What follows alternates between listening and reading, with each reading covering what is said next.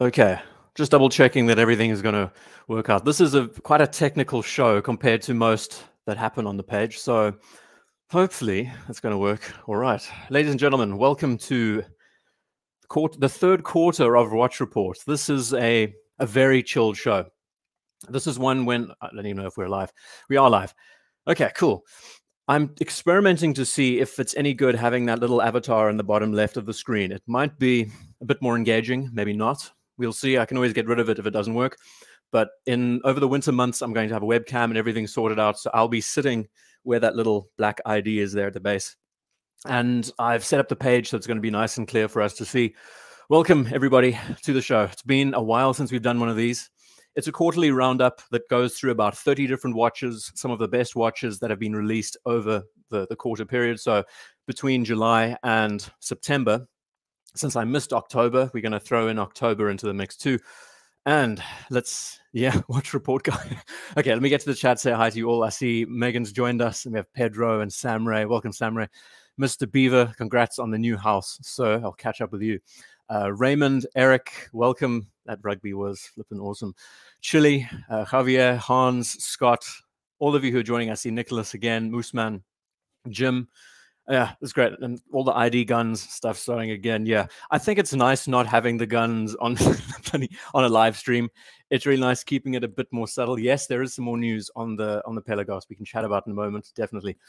Okay, let's get right into it. Should I, question yes or no whether I should keep the little ID at the bottom or get rid of it? Because what's going to happen is there's going to be a watch on the left and then uh, news articles on the right. Before we do that, though, I first just want to screen share this quickly. Have to do my due diligence. Um, our man Blue Shirt Buddha. I have linked the support on at the top of the chat if you'd like to follow it. Before considering donating anything to the channel, please consider donating to our man Blue Shirt and his rehab. Uh, he's been going through hell. He deserves all the support he can get. And yeah, it's a good cause. It really is a good cause for us as a community. So uh, I think it's very important. And yeah, it's just great. I think the feedback so far, I mean, we've seen, the, we've gone so much higher over the standard raised goal. I mean, we could easily cap it at 20, even more, maybe we push it. Um, I think that would be very special. Uh, thoughts to you, Blue Shirt, if you are joining in, if you're listening to us, if you are out there. Uh, yeah. Anyway, um, keep that in mind. The link's going to stay pinned at the top of the chat throughout the show. And uh, yeah, let's get into what's been going on over the last two weeks. Had some two cool videos. I've really enjoyed putting these together, and they, they worked out so nicely. Corner of the screen, I will link a, the video to this after the show. The Yachtmaster Titanium is not official, but I think we can almost guarantee that it's going to be released very soon, and it's a pretty exciting prospect all things considered. It's not the most exciting watch of all, but I mean, the formula just works. It's a 42 millimeter titanium sports model, no date complication. They're going to be giving a nylon strap to the piece for the first time, all sorts of little bits and pieces that's going to make it quite the quite the standout tool watch in the Rolex camp, which is so different to you know how we normally see Rolex as steel sports watches, and what they're going to be doing with the whole um, the way they're making this titanium so good, where they're they're adding some more, you know, whether it's anthracite coating. I, I, go through a lot more in the video, but it's it's a very interesting prospect. But the one the one thing that we've all been talking about, and this this was a lot of a lot of fun to put together. I've I've sat on this news for about two weeks, being able to share a rendition of the this is the Marine Nationale variant of the Pelagos that has been leaked and shared and sold. One example's been sold, and I'll also link that video in the corner of the screen it's I'm so chuffed with this. I am so excited to see this materialize. Um, the news Valera asked in the chat. I have, I'm sorry, I've missed a couple of you. I see Thomas joining in. Welcome, Neferion. Valera asked a question about news on the Pelagos. Have I heard anything else? Just taking hit from the water. Most recent news is pretty awesome. So it happens that Dubai Watch Week is around the corner. And next to that, a couple, I think there were a couple of comments in the chat. Of course, the not sorry, in the comments of the video. The comments just go wild and you can't keep track. But one comment was left saying that I've already put my name down for one of these and there's going to be a launch 17th of November. 17th of November. They're going to be launching something special. So could mean that we are seeing this watch launched at the end of the year. It's a very good it's a very good thing when you think about the business. End of year, you're spending your bonus, Christmas is around the corner. Yeah, it, it kind of does line up pretty well. be good to see this released. Also, a lot of talk about what movements in this watch. I'm just taking the magic mouse. Uh, 200 meters. A lot has been mentioning that it's it's an ETA based movement, and I believe that they actually used an ETA movement in the Marine Nationale models just for ease of service because these watches are going to be used. They're probably going to be sent in and repaired pretty often, so ETA is easier to work on. Whereas the the consumer, the civilian model with the four lines of text is going to be used. Uh, it's probably going to use a modern Tudor movement, probably an updated 70 hour power reserve model. I don't know. Yeah, it's it's pretty exciting, and and I've liked how the discussion went between those who appreciate theirs next to this and this change. Some are saying that the bezel's too heavy. Yeah. Some saying that it doesn't have a bracelet. I mean, that's another big divisive uh, factor. I, I, love the whole idea of integrated uh, not spring bars, tabs that run along the underside of the case. I didn't save any more images. This is the best. This is the best I've saved just as a preview, but uh, it's gonna be it's gonna be pretty fun. And don't know about the helium escape valve, Nicholas. Um, I would imagine for the 200, probably not. Of course, I think Valera mentions it brings the scale down, the the thickness of the watch if it's using. he's taking magic what? Uh, okay, I'm gonna try and keep up with you in the chat. It is going pretty pretty wild. Anyway, so that's that's it in a nutshell. Um, really looking forward to this watch. As far as someone who's never wanted to own a Tudor before, this is a prospect that is special. It's an anniversary piece in a way. It's paying tribute to Milsubs and you know their heritage. It's a true snowflake of what they made all those years back. Fixed lugs. it's an interesting, it's an interesting thing. Okay, let's get rid of this and try and get this right. I hope I really hope it all presents well. So left-hand side of the screen, I'm going to drag this cross. Okay. And then pull up the news articles. Be careful. We're going to enter the matrix when it does that. There we go. So left hand, we're going to, I'm going to try and stop saying so, so much. Left hand side, we're going to have the watches. Right hand side, we have news articles to discuss. And I've only picked 30 watches, 32 or so watches to talk about. It's not going to be very heavy. I mean, this quarter that we've gone through hasn't been that exciting all things considered, they're, they're not new models that have been released, but lots of um, you know reskins and new colors, and some really have piqued our interest. So it's worth worth sharing and discussing. Any PAMs? I don't think so, Eric. No, uh, it's actually entirely Swiss and German. There weren't any Seikos that really stood out to me this over this quarter. Some only watch pieces that I mean, you're seeing one right now the reason why I'm sharing this is a bit is twofold.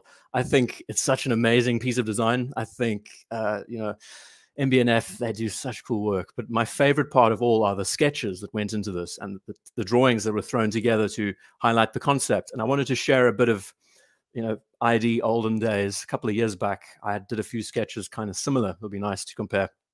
Okay, and thank you, Thomas, about the, the video. Yeah, I loved it. I loved it. It was such a fun thing. Um, yeah, I'm looking forward to sharing. I must say, like compared to most releases that we've chatted about over the last two episodes, this one is a bit more plain. Like we, yeah, it's it's pretty diverse. But I think the best part will be talking around the releases and what they could mean to us, what we find interesting about them. You know, the engagement's always fun about these these discussions. Okay, hitting the tiny, tiny glass of uh, what am I having? Balvenie tonight? Yeah, a little bit more of the Balvenie got a coffee, got a water. It's also the 6th of November, but there's fireworks going off like crazy outside my window. So if I do swear out loud, probably because a firework went off over my head. Okay, so I see James joining us and many more that I'm missing. I see Marco, and I will get that comment. Oh, God, it's just so much go. Julian and F1PTB. It's great having you all here. Thank you. And again, thank you everyone for the support and for being a part of these shows and sitting in, listening. Put your feet up enjoy yourselves. Can you make a video about the watch numeral designs? Yusuf, yeah, I mean, they're beautiful. Okay, so just quickly, let's run through this watch. It's called the Panda. This is not the only time MB&F has made one of these pieces, I believe. They have uh, done different colorways before. But the one part I really wanted to emphasize, can I zoom into this? Yes, I can. These these illustrations are some of my favorite things about this watch. Honestly, like as much as I love the watch, I, I think the way they stylized these images and got them so nicely done. Now, coming from a, a, design background, I learned all about this stuff. I'll show you a sketch that mirrors this in a way. I'll actually get it on in a second. Getting my Doxus sub 200 next week. It's a good watch, James. It's a really good watch. What am I drinking tonight? Michael asks. Uh, Balvenie 12. It's a really light whiskey, which is nice for the show. I, I did a review of it actually, a, a mini review in the in the Baltic video from a couple of weeks back. I said the one downside to it is it's almost too light because it's a sherry cask finish. The flavor just disappears because it's a 40%. If it was a 43 or 46, it would have a lot more staying power. Yeah. So feed the MB&F bamboo and it'll work. Yeah, I mean that's a part of the, the format. So yeah, it's a, it's a, such a I love these drawings. Anyway, so back in my mind, I was this reminded me of something.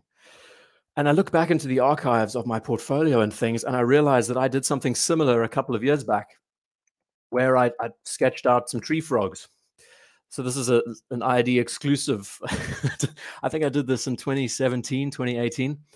Now, what differentiates this one you're seeing on the right to the drawing on the left is that this on the left was done with actually probably the same pens, fine liners of different of different line weights. But instead of using Copic markers, which are like watercolor pens to add the colors, I made it digital. So you're able to drop in some leaf textures and some different colorways. But I found it amazing how there's some similarity between these these two methods, and yeah, I just love it. This, I mean, I could easily frame these things. It's so beautiful, such well done drawings and it's it's not just that it's it's the context behind the drawings i mean look you have pandas in a lab putting it together and yeah, so I like the watch. Don't get me wrong, but the story behind it and the sketching and the work, it's just so nice. Anyway. I mean, the movements that go into these pieces, we know it's superb watchmaking. Sadly, MB&F, unless they're doing, as far as I know, unless they're doing partnerships, um, Kinder's Egg T-shirts. I don't know what's going on. Samurai. Uh, I see. Uh, Onaps, welcome to the show. Zhao, and many more of you. Don Don Johnson. Oh, it's good having you all here. Thank you. I'm just going to get back to this old piece. We've we've chatted about MB&F before. The, the, one downside that at least through an interview that he had was that um, a lot of his pieces don't sell or become anywhere near as popular unless he is in partnership with someone. I mean, Max Büsser and Friends is like the whole the whole process. Yeah, it's just beautiful. It's a really nice watch, and of course, it's, since it's for only watch, it's it's going to a good cause, and there's lots to enjoy. I believe the only watch only watch auction is happening right now. Maybe someone can correct me. But I'm saying love your work. Love your work, Don Johnson. Uh, yeah. But otherwise, the sad thing is some of these web pages aren't going to be as friendly to load and things, but we can try and get you know as clear of a picture as possible. I mean, look at this work that went into these drawings. I can't believe it. You know how long it takes to throw these things together? It's insane. This is like this is like a full three hours worth of illustration just to get all of these lines done. Damn impressive. And it's it's again, it's that whole you know the, the simplicity of the white and black contrast, the, the articulating components similar to Urwerk models and many others. Can I zoom into this? Maybe I can. Oh, just look at that. Of course, this is like high horology. This is not your simple, easy to consume stuff. Don't worry, we're going to be looking at a few micro brands, Tag Heuers, and many others later on. I just thought it'd be nice to start the show off with a bit of a, a bit of a bang. And Megan saying some great collaborations, drawings. Much uh, they used to be much popular in the in the begging.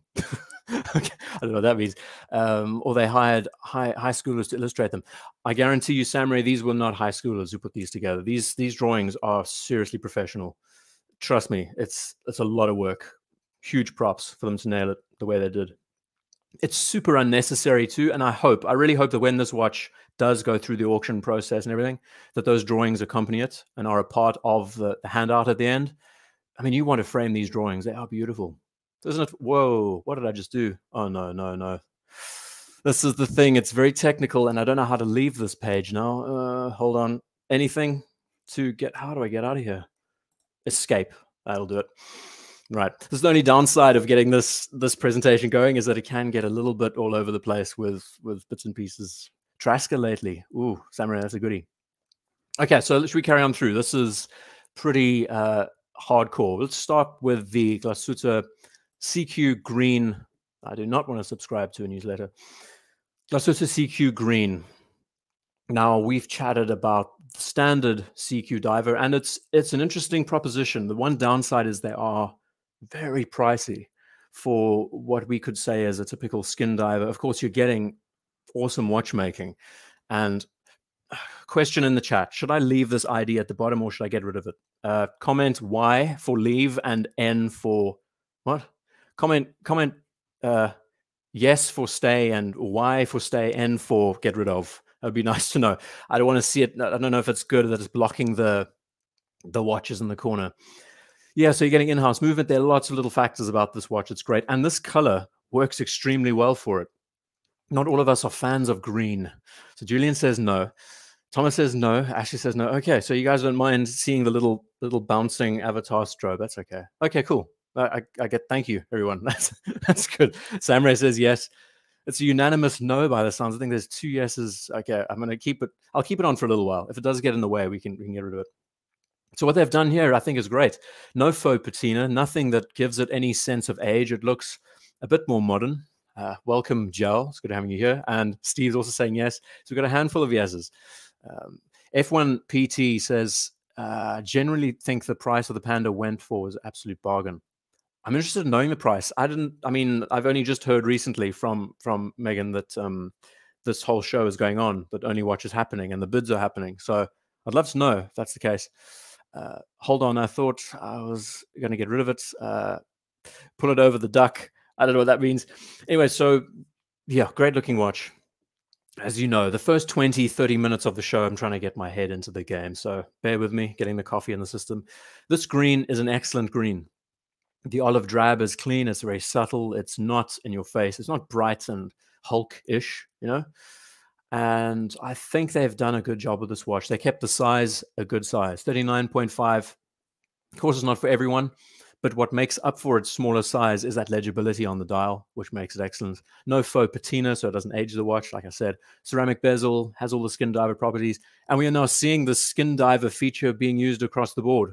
I mean, look, we're getting a Yachtmaster with a NATO strap. We're getting a titanium, by the sounds of things, titanium Pelagos now with integrated tabs and these skin diver style cases, you know, where the, the lugs have these little integrated components on the sides.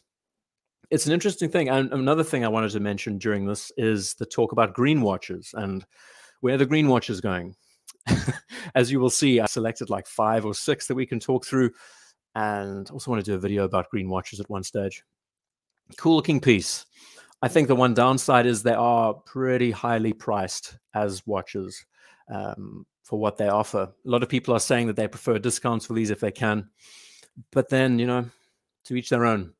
I, have never been a fan of the double glashütte on the dial, but that's what they always do. They always have this glashütte element. That's like their stamp of approval.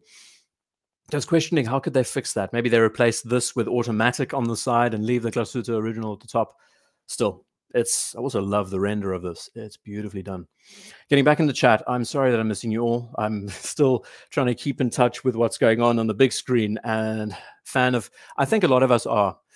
The the thing is with Glashütte, a lot of their pieces can be hit or miss. You know, they have the 60s, they have the 70s model, they have the SeaQ, which I think is probably one of their top sellers. They have the panorama date. I think that's what's called the Panamatic date. That thing is great. Um, great watchmaking. I mean, Glashütte just Glashütte in general, the way they address their pieces, they all feel so similar. They have their own established style that doesn't feel Swiss, if you know what I mean. Hitting the coffee some more.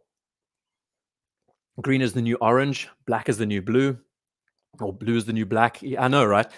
Colors. Uh, this is this is another trend that we seem to be getting on, and we will be looking at Patek in a little while and discussing their um, perpetual chrono that they brought out. That flyback, it was beautiful and you know in stainless steel with a green dial and everything. That'll be a part of the show later on. Uh, sorry again that I'm missing everyone here. I see Abdul joining us. Welcome and Koji. Many more of you. Thank you all for joining in, kicking back, listening in. Black Dragon approved. yeah, it's a goodie. Uh, Mark II from Manhattan. Welcome. And I think was, I saw something about the Chronomaster Sport. That's going to be in here later. We're going to chat about. Panda went for 680. Whoa, wow. Wow that is a very reasonable price. I really hope the artwork went with it. As bad as it is to say, I would probably love the artwork more than the watch, which is weird. Uh, I just wish more manufacturers would get around to to getting. Oh, look at the loom. More brands need to loom their bezels. Come on, that's another debate whether or not we're going to see the Pelagos fully loomed when it's released. I have this feeling in the back of my mind that we will. The fully loomed bezel with all the points highlighted. Oh, it's going to look great. Really excited about it more Balvenie down the hatch. Uh, yeah. Again, I'm going to try and keep my head because there are fireworks going on behind me. it's hella distracting. You're like trying to keep in rhythm, and you get these huge explosions going on. Uh, I recommend Mossburn. Oh, oh, Mossburn is a whiskey, right? There, there was a there's a manufacturer out there. I can't remember the name, but it's a micro brand that emulates the style of dive watch. Oh, it's on the tip of my tongue. I remember seeing it. Awesome design, and it did have like a moss name to it. I think, if I remember. Mossburn uh, a session whiskey, just about the best best, best entry level offering from a distillery. Don't even get me started on the cask strength stuff. Oof, I, you know, I'm still such an, a novice at this, so I'll absolutely take that in. I love listening back to the show, bits and pieces. I'll definitely write that one down. Six to MAS case, kind of yes. I mean, that's that's a part of it. Technically, Blancpain Bathyscaphe case too, and and these skin divers, they they were a weird bunch, a weird bunch of watches that came out through the the mid to late '60s. But I think what they've done here is awesome. This this dial layout is a bit divisive too. I would say it's definitely not for everyone. It can be a little bit all over the show. The numerals, um, the date complications well integrated. I think the size is nice. Open six at the bottom is good. Far far too expensive, Paul. I mean that's the one thing we all talk about. A lot of people get these watches, try their hardest to get them at, at a discount, and it, it can be done. I mean, these watches are still available. You can get the standard black dial models. You can get the the faux patina variants but the 30 i think what they've just done so well why i appreciate it so much is that 39.5 size its proportions are bang on perfect uh, they, of course they made a bigger version with a large date and i think that was a 41 or 42 seiko spb 143 yeah same same case exactly exactly the same case welcome curtis great to have you here better late than never you're not late my, my brain is still trying to catch up with the show starting and carrying on through yeah, everyone's just cast. I don't know what's happening. I see market watch, watch, welcome, watch Pappy, and many more of you that I'm missing. Oh God, see orange hand. Right, I'm going to carry on through. It's a great piece. Next up, I saved. What was the next watch? Let's see if I can get this to fit the screen. Funny enough, this caught my attention. Now, this show is varied. I wanted to try and make it varied. I don't know why the watch isn't showing up here. Uh, there we go. That'll have to do. Uh, yeah, so we've chatted about Bremont in the past, I think, and also their um their new movement that they've just done in house. I'd love to hear a bit more about that if you'd like to mention it in the in the chat. Yeah, Ga- Garish, shoot, well, welcome, uh, Forbin. So chat about Bremont for a while. This watch caught my attention. I did not look at the specs, so forgive me if I'm getting a few things wrong. Grade five titanium case. I love the colors. It reminds me of that uh, IWC that came out, the the Mojave or the Mojave if you're sophisticated. Uh, it's got a, I don't know if this is their in house caliber or if they're still using, I think it's an ETA based caliber that they modify, but it's a really interesting combination. And it looks like Bremont is making this is literally the same photograph repeated again and again. Anyway, beggars can't be choosers. Uh, this is pretty nice. You can look at the specs. I think Bremont is starting to actually make some some headway through their presenting and through some of their pieces the whole compressor case design is quite nice. I think the crowns are a little bit too big, but then it's for a pilot, so it needs to be operated well. Uh, I do really like this feature of the. I could zoom into both. what is going on? Uh, I really do like this feature of the pull tab, pull, pull tab as the uh, counterbalance, anti-shock automatic, and now of course I can't zoom out of this. Let's try. There we go. That works. Just bear with me. How can I be getting tongue tied 20 minutes into the show? Try and say that 10 times. Uh huh. Hitting the whiskey again. Just got to get those early minute moves going. Don't think I'll be traveling in the desert anytime soon. yeah, right. I don't even know the specification about this watch. It's it's true application. Beyond endurance. I mean, as far as I know, they do a hell of a lot of testing with these pieces. Of course, the big one is the the G forces they experience on the wrists of pilots as they eject out of planes. I really hope this was not in the air and it was on the ground. Uh, yeah, to each their own. Bremont, I think one thing that's always been dividing people. Again, we've chatted about the the Glashütte and their pricing, but Bremont, I mean, they're pricing their stuff high, like as high as Omegas and many other pieces today. The question is, if you're getting a modified ETA, as far as I know, it's a modified ETA, is it worth that price? You're just paying for the brand name, these are, I mean, Bremont is is huge in the UK, by the way. Bremont and Christopher Ward, the advertising and the marketing going on. I mean, you see it on ITV and all the big channels here. So they are definitely. Oh, we can actually have a look at the movements. Hold on, anti-shock.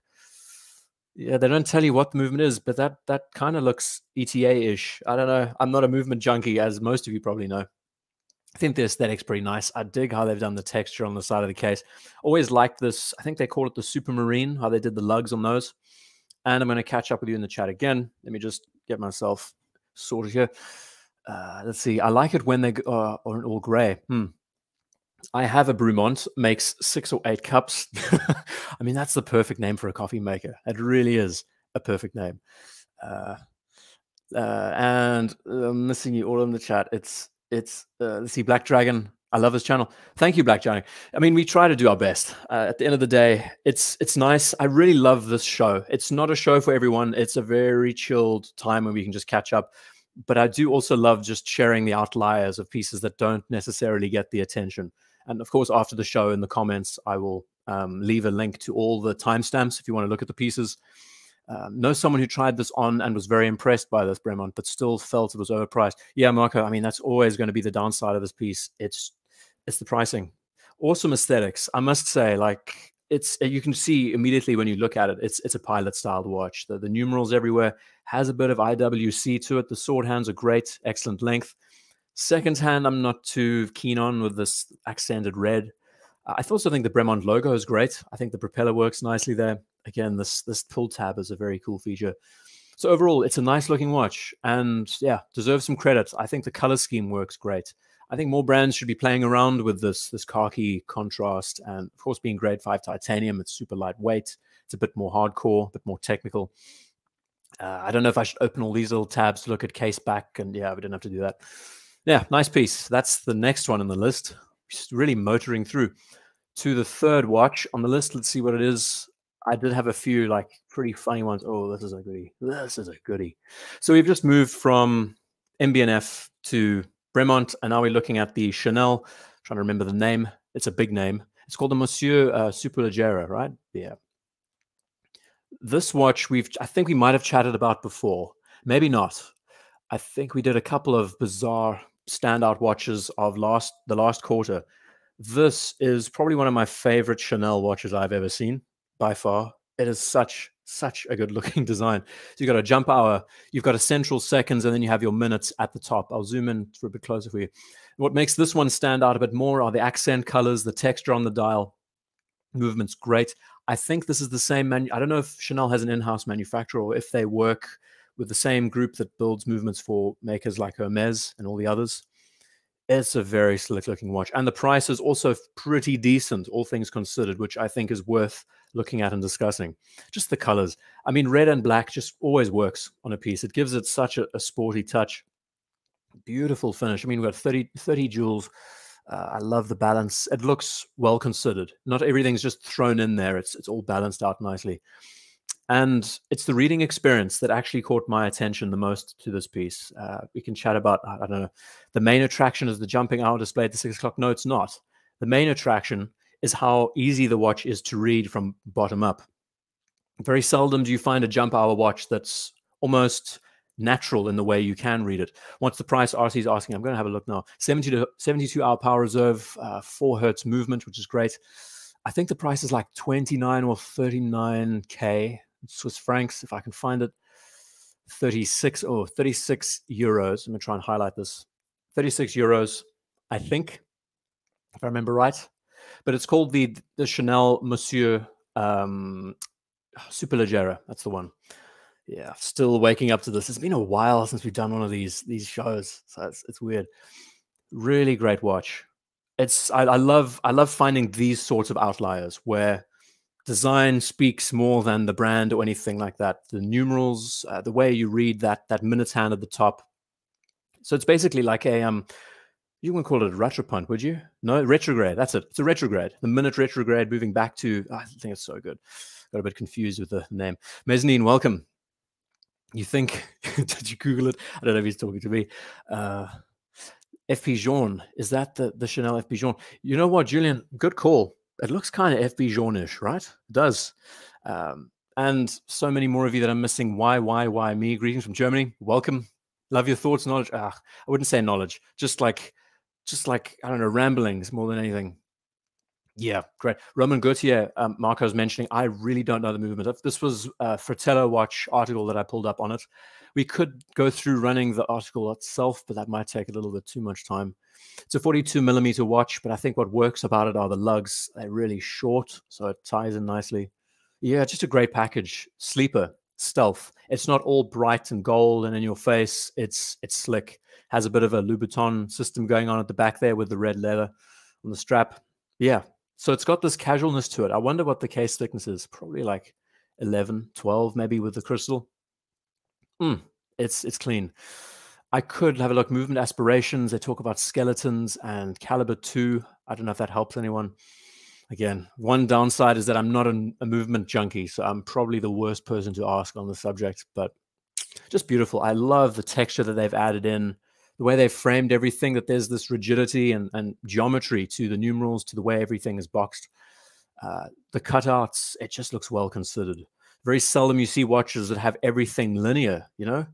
So often we see these high complication movements with just stuff thrown around everywhere. Asymmetry works, don't get me wrong, but when you read this watch from the bottom up, it just is easy. 410, and it's what, 50 seconds going? Nice. Hitting the coffee again. You're not even slightly late, Rizib. It's been half an hour. and yeah, time time flies uh, extra pair of shoes I could buy with the savings from not buying this makes. I mean, that's another thing. You could actually buy. I mean, Chanel offers quite a lot, and it's not always watches. So I mean, yeah, it's pretty cool. Interesting watch. Definitely one that I think is worth addressing. Design wise, it's a winner. I don't know if this was shortlisted at GPHG. I think it might have been. I did not keep track of the competition. Maybe we can discuss GPHG as a bit of a background thing while the show is going on. I'd love to know your thoughts about some of the winners. And yeah, it's been a interesting, interesting ride. The Chronomaster Sport as the winner in the one category. I mean, like, yeah, it's we all have our different opinions about how GPHG operates. If it is a cash, a cash transaction thing, and if it has any validity in the bro- in the broader scheme of things, we don't know what the judges look at at the end of the day. Q Maestro is asking how much it costs. We we I think we landed on something like thirty six thousand euros, which is pricey. I mean, let's not get up, let's not kid ourselves. Hold on a sec. This is an amazing Alfa. This is called the um. Oh, I looked at it the other day. What's the name? It's so good. Pin Pininfarina did this, and this is the Roadster version. They did a handful of these. What's the car called? Uh, I had it on the top of my head the other day. Superleggera. I don't know why they paired this car with it.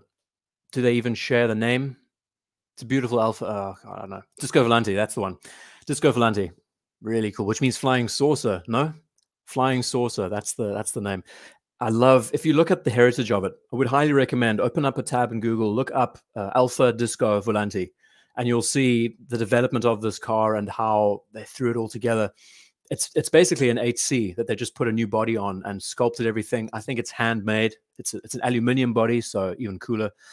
Yeah, this I've never seen it with a with a roof without a roof though, and light blue. You normally see them in red. Yeah, Disco Volante. It was a classic car that they made a long time ago, but they've brought it back. This is not a new car though. It's 2016. It came out. Okay, enough about cars because that'll definitely bore people to death. Next up, we have oh Girard-Perregaux. I'm going through these fast. I've, I've highlighted two Girard-Perregaux, the both Laureatos. First the titanium, and then the sapphire. The sapphire tourbillon. No, it's a sapphire skeleton. Probably one of my favorite releases so far this year. And this, in a similar way to that Chanel we just looked at. Bear in mind, I said in the beginning of the show that this uh, selection of pieces they aren't flashy and they don't stand out too much. They have, in a way, we could say they've been reskinned quotations, and it's nothing really new. But I think this one has the subtlety that most Laureatos didn't have.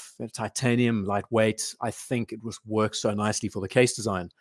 Too big, uh, Kumash was mentioning. Yeah, that's that's definitely something we can talk about. Uh, wheels are small. Uh, Superleggera are an Italian. Yes, uh. So that's another thing, Julian. So how did they get the Superleggera name for the Chanel? But they're talking about the Disco Volante from Alfa, which is a Pininfarina design. Don't know about that. I think they're just comparing apples to oranges in a way. Barchetta, I think that might have been the one. Alfa, gotta say, Alfa had the most. They have the most beautiful design house. They are just exceptional. So many good cars in their back catalog.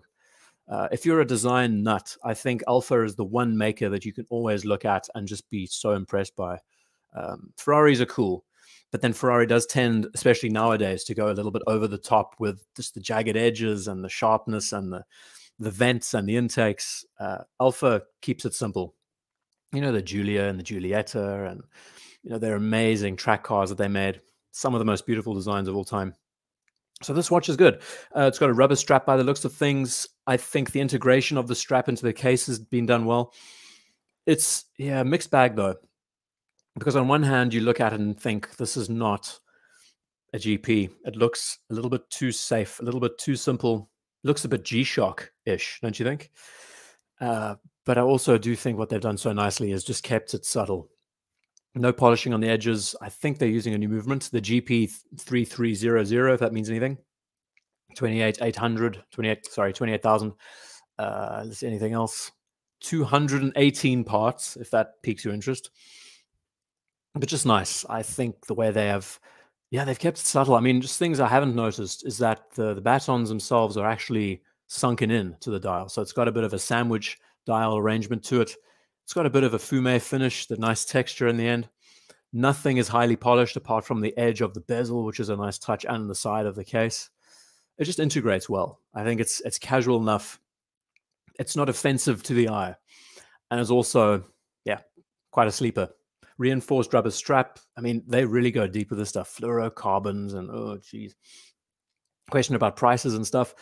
Uh, 230. Oh, I forgot these are limited editions. Of course, they're limited editions. 230 pieces and another 230 pieces, 9 4.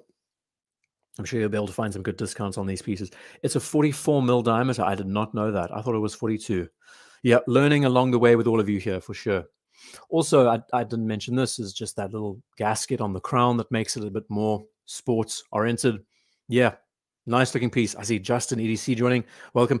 Victorinox good shot there, Michael. This does look like the Victorinox, like bang on. We actually had one on a on a live show a couple of weeks back, months back. Um, yeah, that's maybe where they got their inspiration. I think I think they actually compared it to this watch. that's pretty cool. Great shot there. I mean, yes, in in almost every way. I think what gives it away the most are the the lugs and the crown guards. Uh, that integration looks so on the nose. Very interesting. So, so this watch stood out to me because I liked the subtlety of it. And next to it, we're going to have a look at the the sapphire skeleton later on. The skeleton GP is by far my favorite. I think the way they do their movements just beautiful. And in there, you'll see a bit of a different side to this watch and its design. 44 is pretty huge for this for this watch, uh, especially with that integrated styled case. It would probably wear even bigger. You know, typical to APs and and Pateks and those. Uh, generally, the bigger the size, the more it wears, you know, wears a millimeter or two larger. Julian saying, do you think after Seiko got a GPHG prize for their white birch, oh, they might be branching out to new territories? I did not know. By the way, please tag me in the chat if you want to get my attention. Just at ID guy or hashtag. yeah, called it a G Shock. Yeah, I'm going with it. Um, very interesting. I didn't know that they won a prize uh, for the the white birch. It's a good looking watch. It's actually great to see that they're getting that recognition. Uh, especially at GPHG. I don't even know if there have been winners in the past before in those in those categories. Yeah, I mean that's one thing. It's it's one of the most hotly spoken about pieces. So many of us are looking at Grand Seiko for that, especially for the dial finishing, which is something that's become a household name with their brand, which is pretty nice. Okay, and scrolling down again, I'm missing you here. I'm thinking 44 is way too big. Then I remembered I'm wearing a 44. So, yeah, we're talking about the um, if you're talking about the Seiko, like Seiko turtles in general, the turtle 44 mil is the best 44 mil case there is. It's just amazing because it feels like a 40.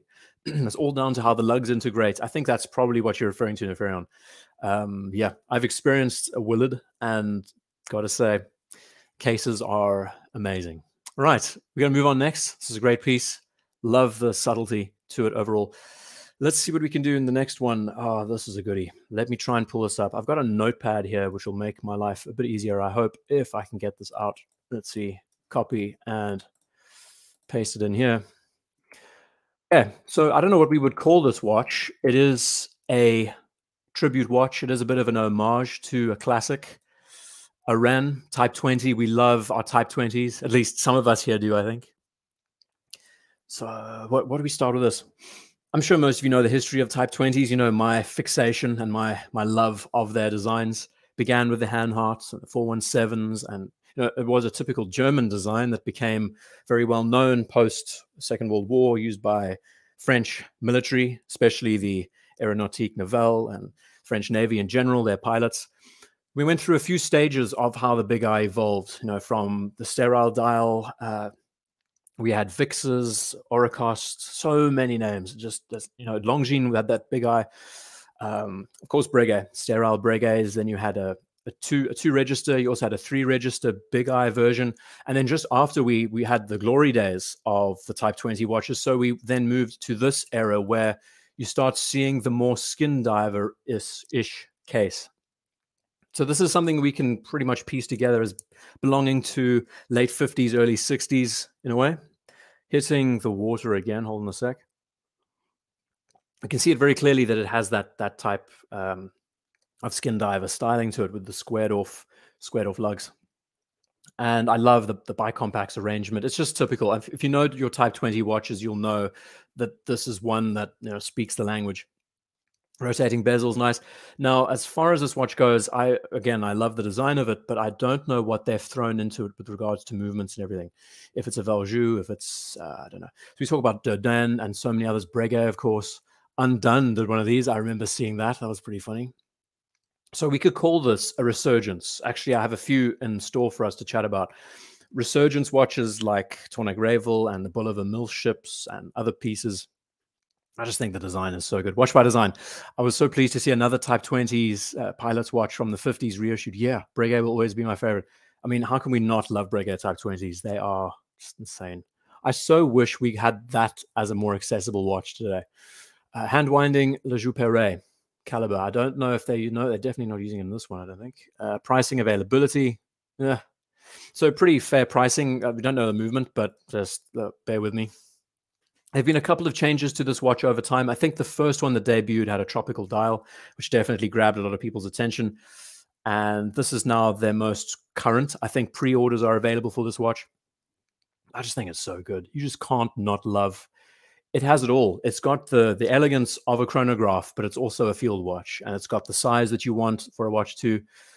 I just wonder what the movement is. A minor disadvantage. I'm guessing they're talking about the movements. No, no availability. That's the disadvantage. Availability. Thanks, Fratello. Anything else? Is it a column wheel? I can't read that. Maybe someone can help. There is mention about Le Perret in the chat. Yes, yeah, so the Tropical is limited. There were there were a few. I think there were two models that were limited, and this one's also coming out soon. This is probably also going to be made in limited supply. And we're seeing this across the board. We see uh, Nivada Grenchen bringing out their chronos again and dive watches. Uh, they're doing so well. And it's, you know, you're getting that vintage aesthetic. We've spoken about it so many times. The vintage aesthetic, vintage vibe, but it's a modern watch. So you can wear it. You can beat the snot out of it and it'll work. Thank you for the Samurai. Oh, you're on points. Please tag me, Samurai, and I can get this quicker. So it's the caliber AM1. La Joux-Perret hand round column wheel has a flyback. Fantastic. Why wouldn't they? They should mention. Uh, I think they're just keeping with tradition, but I mean, you want to put flyback on the base of the dial to let everyone know. That's that's an achievement. I love it. I love it.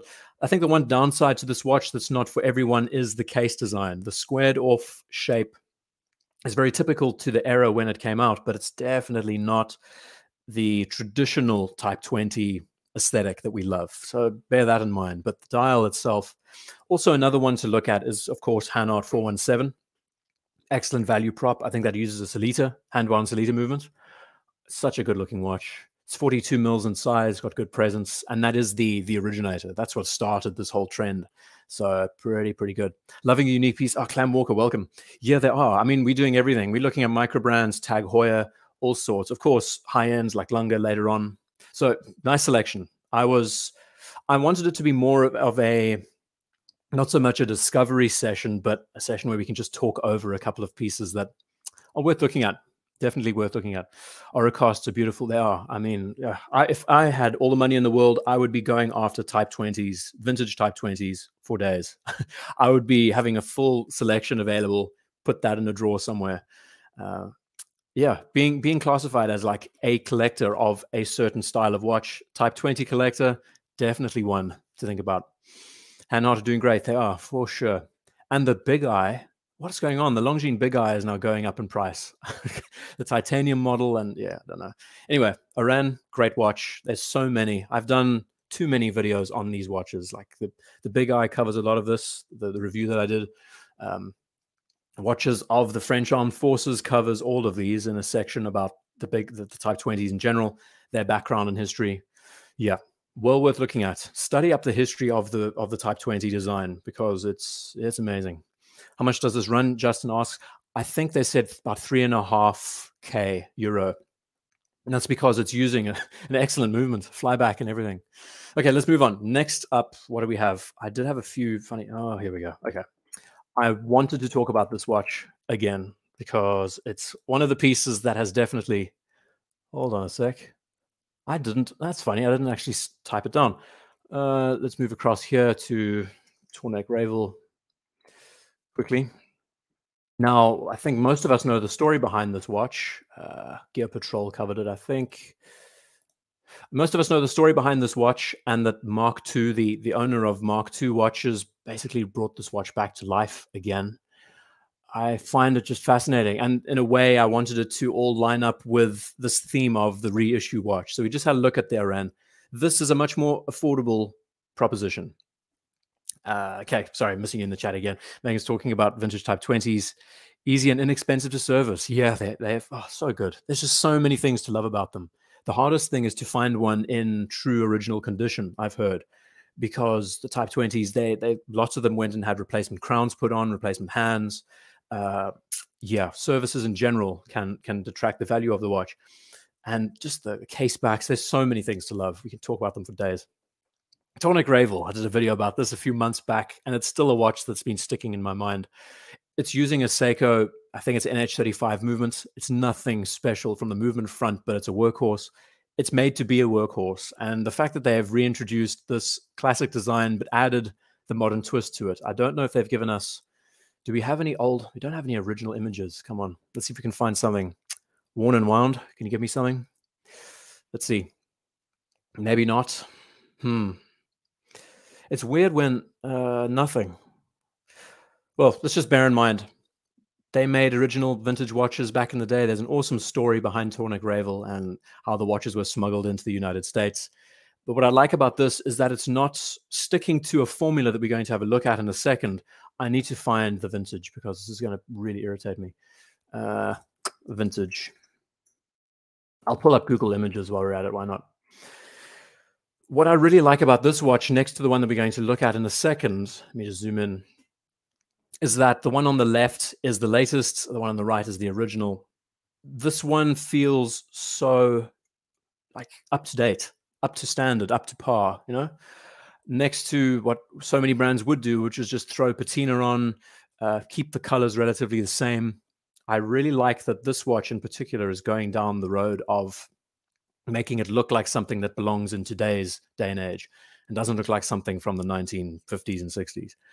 Uh, they've done it so well. I mean, you've got your, your water uh, ingress indicator at the base. You've got the typeface is all correct. The colors all match up nicely. BGW9 lume. Excellent strap, sandblasted, bead blasted case. Mentioning about the movement. Thank you, everyone. Let me get into the chat and have a look. Uh, the mill ships that's coming up next. Don't worry, Raymond, it's coming up next. Um, movement made in Japan. Uh, so it's a, it's an S. Oh my goodness. Uh, X R three five. Okay, got it, got it.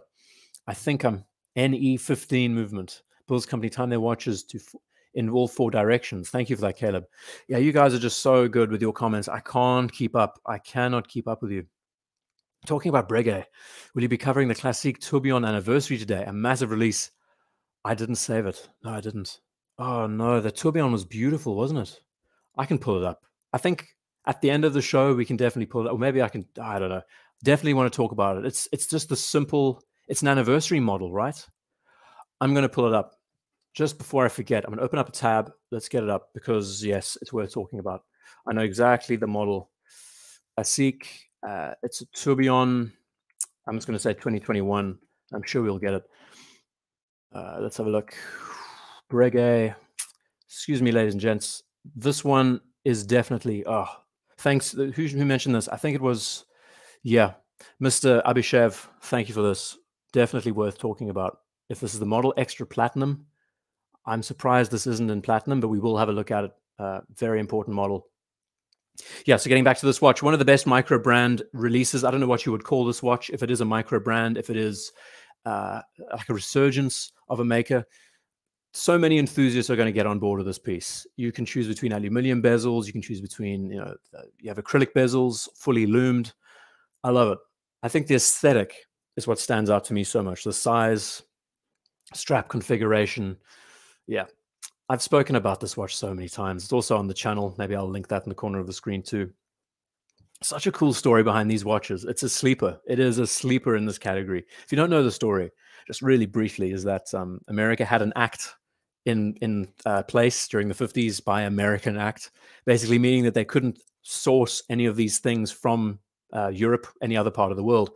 So Alan Tornek struck up a deal with Blancpain to create a watch and rebrand the dial with his surname and Rayville being the anagram of Villeray, which was you know the hometown of Blancpain. So technically, it's it's got his name and it's got Swiss made on it, which is cool. I just had a hell of a deja vu just saying that. That's weird. Uh, but everything's just correct. There's no Swiss made at the base, and the idea is you keep it Swiss made with that name, but then you put US underneath just to get past borders. Uh, they only made a, like a hundred of them for for the Navy, and these went out to Vietnam. And once the war finished, many many of these were destroyed as just a part of getting rid of uh, military components, military equipment. And a couple got stolen and taken home and, and put aside and managed to get away from all of that. And they, they are the most, I would say, the most rare and expensive dive watches in the world to buy in the vintage marketplace uh, for good reason. I think the story is amazing. This is the kind of thing, if you're a super collector, this is the kind of watch that you want just to be able to wear this out one evening and say, yeah, you want to know what makes this watch cool? I don't know why it's all pixelated, but you get the idea. It's just, it's a charming thing. Blancpain and their dive watches, we've said this so many times before, they were so above everyone else. I know there's so much criticism often about the bezel being too fat and just not looking correct but this is the watch that really termed the modern dive watch that we see today. I mean, this began the trend of the rotating bezel, the legibility, the, all of those aspects were factored in. The presence on the wrists, worn over wetsuits and everything. It was, and of course, French Navy, they were the ones who experimented with these pieces. We see that time and time again. Tudor Pelagos, we are about to see released, also experimented with the French Navy. That's just, you know, part of it. And catching up in the chat once again, Samurai, Blancpain 50 Fathoms, Bathyscaphe grade 23 titanium. Oh, yeah, that full titanium model. I can't talk about Blancpain and the Bathyscaphe. It's just one I don't, I'll get, I'll get very uh, negative, I think, if I talk about that watch. I need to do a design critique of the Bathyscaphe. Not everything that Blancpain makes is great. I know there are a couple of Bathyscaphe owners in the chat. Uh, I'm sorry, but I really don't like the Bathyscaphe at all. Uh, the uh, this design is just beautiful. Right, I'm going to carry on. Uh, Abdul's asking, looks, looks cool. How much does it cost? I think these are like a thousand dollars. They are that they when they went up for sale, they were about a thousand dollars, and they're going to be having orders again for them again. So really, look up Tornek-Rayville. I think as far as a dive watch goes, it's the epitome of what a dive watch should be represented as, especially as a mil spec in quotations piece. Yes, he was. Blancpain president was a diver, and it was because of his insight that he basically helps direct not only the marketing but also the design of it. He wanted a bezel that could turn. It's it's so good. I love Blancpain's story. So for all the hate the brand gets in a lot of ways because their prices are quite extreme and their watches don't sell as, as well as they used to and stuff. Movements are incredible and the story behind the original dive watch 900. Thanks for that. Thanks for that, Megan. Uh, okay, right. Chat about this enough. And I think the next is the mill ships. I hope. okay. Okay let's chat about the Bulova mill ships. I wonder if I should pull up articles or not. Uh, this one has been so. What I what I like doing with this talk is, uh, funny enough, my web browser does not like Hodinkee at all. When I click on Hodinkee, I get this, and when I click Advanced, it doesn't let me actually hop hop in. So, unfortunately, Hodinkee is out of the running for their images being displayed. Let's see if there are any other places. It looks, oh, Blog to Watch had one. I don't know if they have the watch in hand. But There have been some good talks. Uh, maybe I can just zoom into the images. I don't know. Bulova mill ships. What makes this watch a great value prop is again the price. It's under the Bulova name. It's based on a prototype that was never actually manufactured, which is nice. So it's got some cool history, and we can see immediately the similarities. And they pulled that reference from the watch that we just saw. Yeah, the browser's doing me a solid. I know, right? I know, I know. Jean-Claude Biver, PC knows what's up. yeah, unfortunately, um, two versions. Yes, so they did a Miyota SW200. Interesting, Raymond. So they're two, okay, two variants, right. I want to try, I have to find an article, some proper images. This sucks. I can't get into Hodinkee. Maybe I can for a blog to watch, but the sad thing is I won't, I don't think they'll have any live images. We have some Reddit shots that could maybe help, but yeah, so there's been lots of talk. The, the, the limited edition came in a, a diving helmet, which is quite cool bit of a novelty. Standard model came in a box. A lot of people are saying that the standard model is actually more true to form, I think, because it doesn't have Swiss made at the bottom of the dial, if I remember right, and that's true to its its history. Yeah, but again, it's one of these watches that used the Tornek-Rayville format, I think, in the 50s. Not actually was a Blancpain idea in the 50s, uh, but it never was produced around the time. Same time period, but this one wasn't adopted. Uh, let's see. Abdul saying, looks like summer 22 will be full of diver mil-spec homages. Yeah, right, right. This watch is already out, by the way. You can you can pick these up. They're excellent value for money. I think what you're getting. I believe it's an it's a Hamilton-based movement. Someone correct me if I'm wrong. Uh, but again, what I just I appreciate so much about these releases. We chatted about design and sketching at one stage. I love the fact that these watches are now being shown with just the original advertising and, and all that with it. Isn't that cool? I mean, you've got, I love reading this stuff like it's a big deal. Tested to 400 feet and it uses a, a nylon strap. And this was such December 1959. This was such a pioneering thing back in the day, where today it's just like, yeah, whatever. You know, photoluminescence and all the stuff that we just take for granted was a big deal. I don't even know if these were, these were probably manual wind back then too. Yeah, catching up in the chat. I see Demetrius is joining us. Welcome. Uh, Eric saying Bradley, the CEO of Bulova, may have got the nod that the US the US Navy only wanted a short run, hence limited initial run. Are we talking like we're not talking now? We're talking back in the day, right? It's getting so confusing because now we're getting watches that are being reproduced and sent to the Navy, and we're also getting these recreations. So I'm I'm guessing you mean you mean back in the day. Uh, and carrying on through. Sorry that I'm missing you guys. Just tag me in the chat again if I do miss your comments. Um, 16 mil lug, yes. So that is the one thing that I, all of us were scratching our heads about. It's a 41 mil diameter, but a 16 mil strap width. Yeah, it's a weird one. You can't exactly change the straps very easily. But all things considered, it's nice you know the, the one gripe i have is it's i mean the aesthetic of the watch the the lume and everything we've seen it so much now. The faux patina and everything is is everywhere today. Uh, so it's a bit repetitive in that way but they are paying tribute to that watch. The size and scale I, yeah, it works in a way. I think it does work in a way. Sometimes i look at watches and think why not make it an 18 mil lug width to just make the watch feel a little bit less heavy on the wrist you know Anyway, carrying on. I see Showcase joining us. Welcome, Showcase. I don't know what's going on here. I'm trying to get an article open, but Hodinkee, Hodinkee is not accepted on this computer anymore. It's it's decided it doesn't actually allow doesn't actually allow Hodinkee web pages to be shown. So we just have to have to wing it. Have a look. But they've done good stuff. I think they bent the minutes hand and they made it look really true to those traditional styles. Again, what makes it nice is that it's it's all Bulova. You know, it's in house in a way uh, it has that bit of history, the, the little bit of, oh no, did I click that again? Magic Mouse. Uh, it has that little bit of uh, litmus paper at the base. I really dig that. It's so unnecessary, but just adds to that classic styling of if it did have any water enter it, then that'll change color, true to form. So on one hand, I think the faux patina is a little bit heavy. This coming from someone who owns a 57 Seamaster. On the other hand, I think it's nice that they're paying tribute to a watch that never truly existed. You know, they digging into that back catalog and that history. Okay, carrying on through. I think Bulova are going in a good direction lately. Yeah, they are, Samurai. And it's price dependent. I think they're pricing themselves very nicely, similar to brands like Hamilton and others. They are finding a good sweet spot where other brands like I think Seiko are going a little bit too far with their prices. For, for Seiko fives and stuff, they're just they're ramping it up threefold. Um, even the CEO is saying we need to go back to formula and start again and simplify our watches and introduce a new language to our pieces. Miyota and Irregular and Sellita and Limited. Oh, thank you, Justin. So it is, it's just a Miyota. Okay, okay, got it. But they are, as as Thomas is saying, a Japanese tank. It is. It's Japanese tank movement. Uh, Seiko and and Miyota, some of the, the movements they make are just so good. Next up, what do we have? this is not one I don't think we expected. Uh, what is it called? Is it and Ross Diver? I'm going to try and pull it up. Hold on. Where did I save it? Uh, and Ross Diver Blue.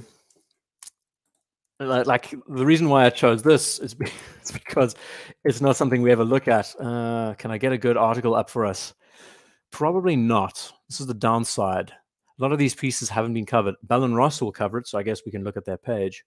I don't know how good the renders will be. No, I'm going to look and see if I can find monochrome. Maybe they've done something better. Escapement magazine. Oh, there's monochrome. Okay. Let's have a look at this article. Now, Bell and Ross gets quite an interesting rap. you know, their designs can be hit or miss. The style of the cases are so true to how they address their watches in general. Hitting the coffee again. I really like what made me what what got me onto this watch is I really like how they're using the square case for a dive watch. I find it appropriate. I find it actually works for this piece. Now, the, the whole argument is that the square shape is basically just the instrument cluster, the actual gauge that's been taken out of an airplane. Um, of course, that's where their inspiration came from for most of their pilot pieces.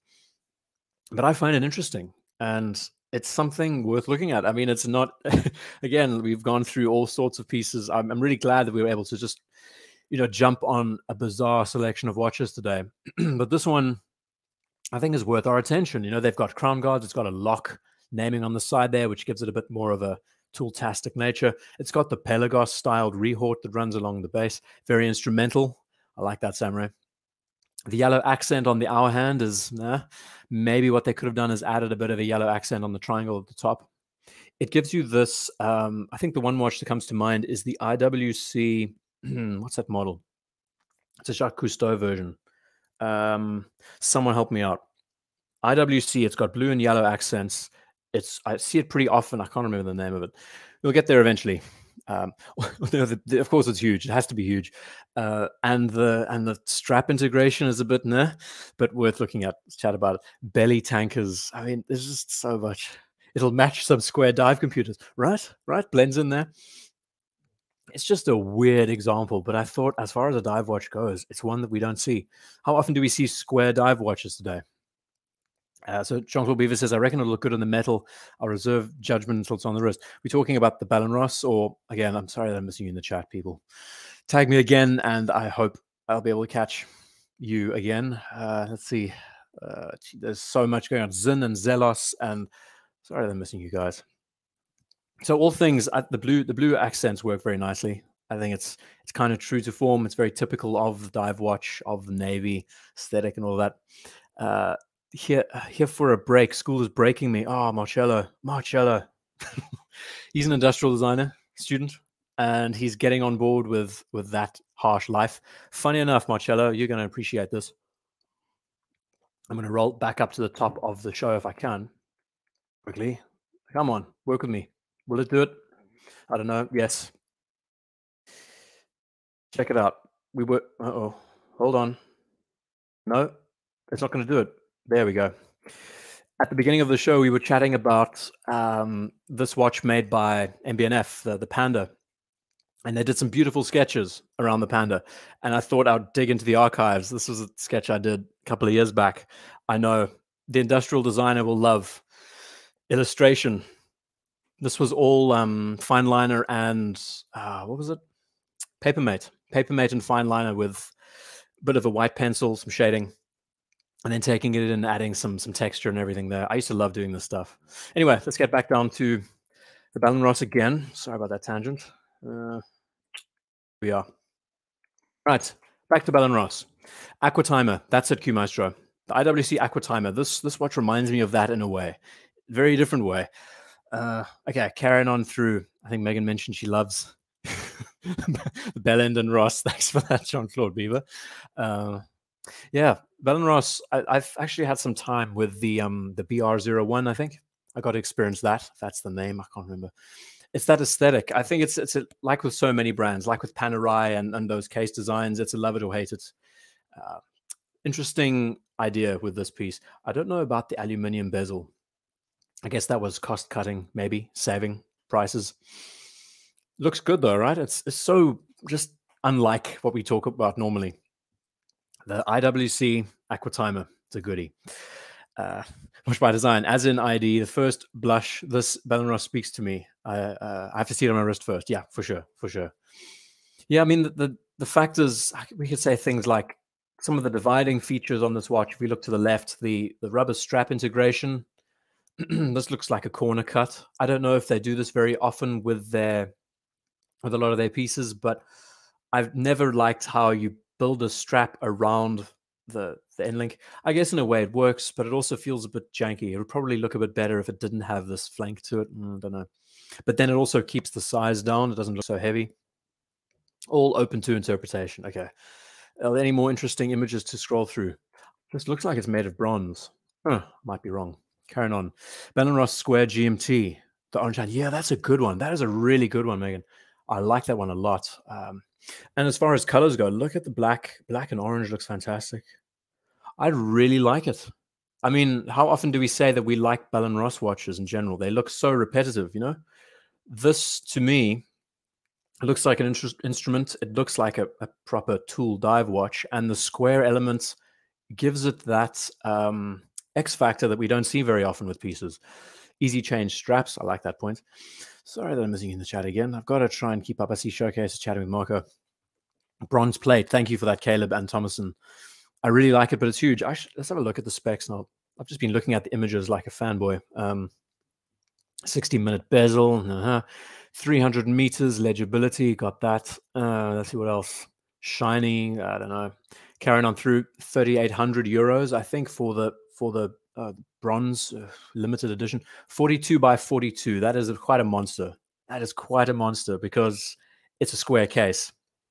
That's going to be huge on the wrist. It's got a Sellita S. Okay, so it's got an SW300 movement. That's pretty cool. Pretty much top of the range in the Sellita category, I believe. Uh, Bicompass is one you're going to like. Marcella, we could probably go down the Bell Ross rabbit hole if we had more time, I think. But yeah, it looks good. It does look good. Speaking of Ed White's showcase, how is that Ed White treating you? I love that watch as you would expect. I mean, being loving those those original lugs and, and bracelets and everything. Um, it's a good dimension and wears slightly slimmer than the typical Panerai. Interesting, Thomas, and thank you. Uh, how much do you have to fork out for one of these? So here we go: three three for the blue, which I might imagine is steel. That's in euros, and three eight for bronze.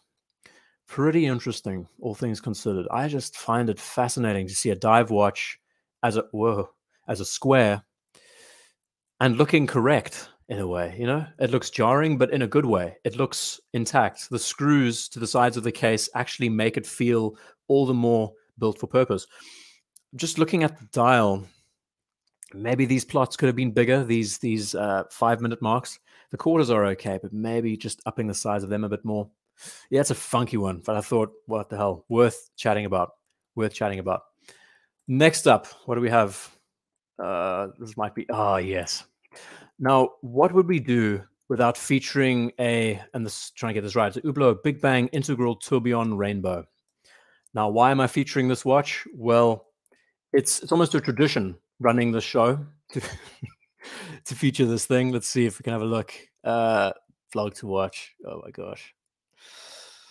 There we go. There we go. Now we're talking about the good stuff this has almost become tradition now on the show that I feature the Big Bang rainbows because I think over every quarter they've had one, whether it's a chronograph, whether it's, you know, it's just part of their, their mantra at the moment. So I thought, why not? You know, we love a good rainbow. Uh, the photos are amazing. these look like renders. I don't know. You know, we got to we got to take a bit of a breather and appreciate the complexity I do love inline tourbillons, having the having the the mainspring at the top, and it's it's all nicely integrated. And the I mean, look at the work that goes into those settings. each one, I, I, think they're sapphires. I don't know. I'll keep up with the chat. Blend of Cartier Santos, Mido, Mido Ocean Star. We're talking about the um, Ballon Ross. It's a good shot. Uh, really like the date window. I think it was at the at the six or was it at the four, Thomas? If it's a Sellita, they can be creative. I think it was at a four. Yeah, got to feature the Hublot. Got to understated elegance. You're right, Orange I mean, this is the most the most subtle of all watches today. One thing we can't bash is the watchmaking. Hublot makes amazing movements. Uh, but I think it's just great to keep with tradition, keep it consistent, and bring what everyone wants to see to the table. A full rainbow, big bang, bigger bang. Hublot and Classier, oxymoron. I think they do. I mean, the one watch that keeps blowing my mind is that LaFerrari partnership piece that they made. That was an amazing piece of watchmaking. Actually, we were talking at one stage, I think it was on another live stream about um, car and watch partnerships and how they never work. I think Hublot probably has had one of the best car and watch partnerships to date with that Ferrari, LaFerrari model. It was so good. Such a cool machine. Yeah, so let's uh, let's keep bashing the rainbow. I guess uh, I must have my wrist inset with rainbow jewels, right? Right. I have a 7.5 inch wrist, but for me, only a 35.9 C, uh, squares seem appropriate. Mm. Invicta territory, Roar of the Tiger says. I mean, yeah, it's all it's all down to personal preference. I think at the end of the day, I have like a seven inch wrist on a good day, and for me, I think anything from 41 to 36 works perfectly. Anything bigger can be a bit too much. Anyway, this was just a bit of a, a silent segue in and around. Oh, it's just so much. hold on a second. I remember, if I can zoom into this, will that me? I remember the last watch we covered had fully uh, embossed jewels on the cloth. I think it was actually a tang buckle that they used on that one. I'm quite unimpressed they didn't put some put some rainbow into that. 400 so 484 stones, nearly 36 carats in weight. Oh, that's a pretty decent MSRP. I hope you're not drinking your coffee when you read that. Tourbillon Rainbow is available now. Actually, it might be a good time to talk about rainbows in general because we we often discuss models like the Daytona Rainbow and many other pieces, the, the Leopard, the Rolex Leopard. People go nuts for, for the Pearlmaster, say, Rolex Pearlmaster. They go nuts for those in set pieces. So what happens here? Who collects Rainbow Hublot watches today? I think it's the Big Bang response to Jean-Claude Biver. And yeah, that's pretty much, right? So his DNA now with the Rainbow Daytona admiration since he bought one. I like that, Thomason. Thank you. Um, LaVenture Marine 2 should get a mention. He's, oh, geez. A very standard class, right? I was actually, let's go back down to it because I didn't have a proper look at it, but this looks like a generic. That is quite poor. That looks like a generic clasp that's just been machined out. And that's gold, by the way. AU 750, so it's all white gold. Boy, yeah. Just just too much to take in, but I thought, you know what? It's a good way to just have a bit of a Okay, let's move on to another piece. Uh, rainbows, love them or hate them, they are here to stay. But it's factory, Clam Walker, and that's all that matters. It's factory. Right, why did I look at these Zodiac Seawolf GMTs? I find these to be quite interesting propositions, if I can find it. World, no, it's not a GMT, it's a world time, technically. I need to get back to that Classique. Hold on, let's chat about that for a sec. Um, what am I doing here? Looking at images a blog to watch covered it. Awesome shots. I'm trying to remember. Hold on. I'm trying to remember what made this watch sing to me. But before we do that, let's look at the Classique. Should I leave the, the Zodiacs on the screen while we discuss it? Now, if I remember right, this watch was supposed to be in white gold or platinum. I haven't seen it in rose gold before. But what made this watch special, I think it was mentioned in the chat, it was recommended to talk about that I completely forgot. This watch celebrates a what 300 year anniversary of the tourbillon invention, uh, extra platinum anniversary. I wonder why it's in um, in rose gold. I would imagine. I think the movement is all platinum, if I remember right. So it's a limited edition. I'm sure most of you know, and there's lots of debate. Actually, just bear in mind we're talking about the watch on the right, not the not the zodiac. but there's been debate about who invented the tourbillon, and I think a lot of us side with it being a English watchmaker who came up with the tourbillon idea before Breguet did, even though it's like here and there because you know there's a few difference, few years difference between the two. But this one celebrates the huge anniversary. And I think what they've nailed here is that that offsetting, that asymmetry. It looks so correct to Breguet's approach. I mean, just look at it. You have the typical finishing on the outside, but it's you know, it looks centered, but it's off centered. And what makes it really special is that movement at the back, which I'll get to. Oh, it's just so good. Just so, so good. So it's all engraved. And what I really liked about this that I forgot, oh, hold on, I clicked on this full screen. What I really liked about this is that this is a side angle projection tech drawing of the tourbillon from underneath. So we see here, this is where the pin would make contact with one of the sides and here's the other end with the gears at the bottom. I don't know if you can see that if you squint your eyes, but this is the main tourbillon component, this horizontal. And they've got some cross hatching there. I think the industrial designers and us will enjoy this if Marcello's in the chat, if Curtis is still here. I love how they've done it. They've, they've labeled it A, B, C, D. So this is the original sketch that they've engraved onto the movement, which is fantastic. And of course, 1801 to 2021. What is that? Is that 200 years? Wow. I'm pretty bad with my numbers. Breguet, you know, typical hallmarks that you would expect and everything. Just remember, we're talking about the watch on the right and not the left. Can I go back and leave this? I can't. Uh, back arrow. What'll this do? Uh huh. So there's the original tech drawing, I believe. I believe that's the original sketch. How great is that? It's just so, so good. Of course, these are super pricey. It's a very simple watch. I mean, all things considered, it's a tourbillon. It's all platinum. The movement's all platinum, which I don't believe has ever been done before. The, the, actual, I mean, look at the rotor. I don't know if you know this, but the rotor is like semi-skeletonized and it runs around this outer gear, which is incredible. It's just, it's Breguet. I mean, what else can you say? That tech drawing just makes it look so good. Yeah, it's it's well worth sharing as an anniversary piece. Engineering, all of that there. It's really good. And price wise, I don't even know if it's relevant. I don't even think they mentioned it here.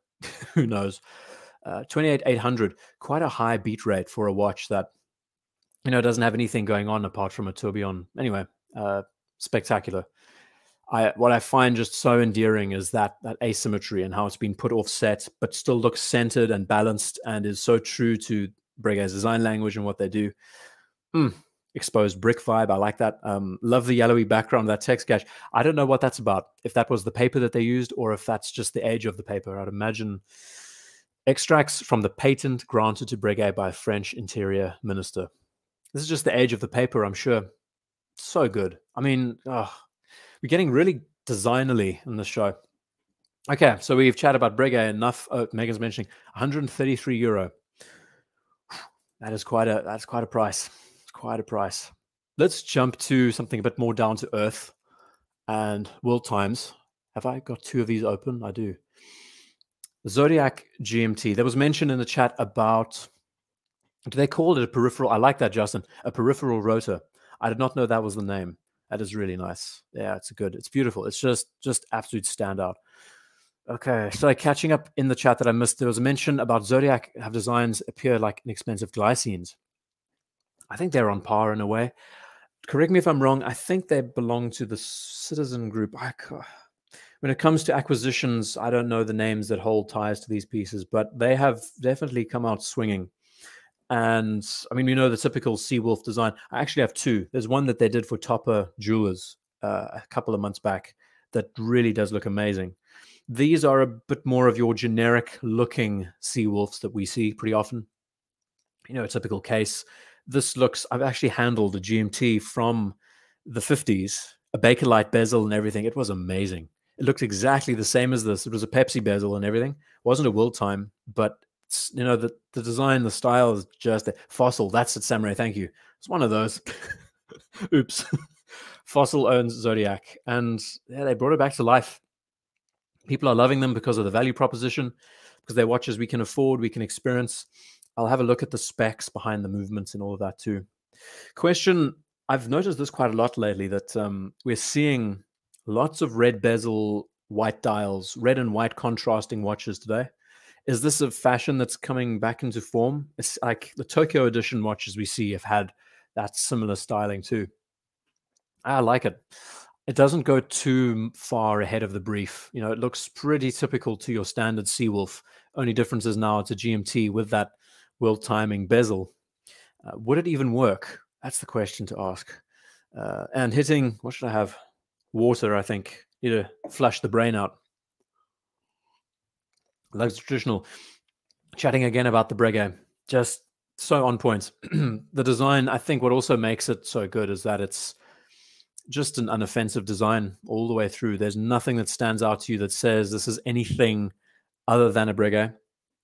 The end result is that it looks almost plain, and I think that's what they were going for. It's a celebratory anniversary watch, but at the end of the day, it's nothing too special to those who don't know what makes it unique. Turn it around and say, well, it's a full platinum movement and it's just a work of art. Then it gets attention. Okay. Those Bakelite bezels too. I no, I believe they are acrylic. I don't think any manufacturer makes Bakelite bezels today. Someone correct me there. Bakelite is a pain in the naught to process. It's an expensive material to make, and it's it's not as anywhere near as efficient as so many other materials. I'd be interested in knowing if they actually lumed the names on the bezel. That would be amazing. Um, so F1 PT says Breguet lugs are terrible. Just a couple of matchsticks. Yeah, yeah, right. Just a couple of matchsticks. They should look Journe for how they do lugs. I guess with them, they they're keeping to traditional pocket watch styling. They aren't going. It's same as um as Lange in a way. Everything is straight, nothing too organic. And that's how they used to make the original watches, just welding on some gold onto the lugs. Nothing, nothing to stand out. They built the case first, and then they chuck the lugs on later. It's an amazing process, by the way. I love. I don't know if you've ever seen the, the manufacturing process of Breguet and makers like Roger Smith. Um, how they go through those stages of of building the case up and then welding the lugs together. I take you're not a Breguet fan. uh, what will the 22 dial color? Oh, exactly, samurai. Right. I think green. Green seems to be a big one. Burgundy. We're going to have a look at a burgundy watch later on too.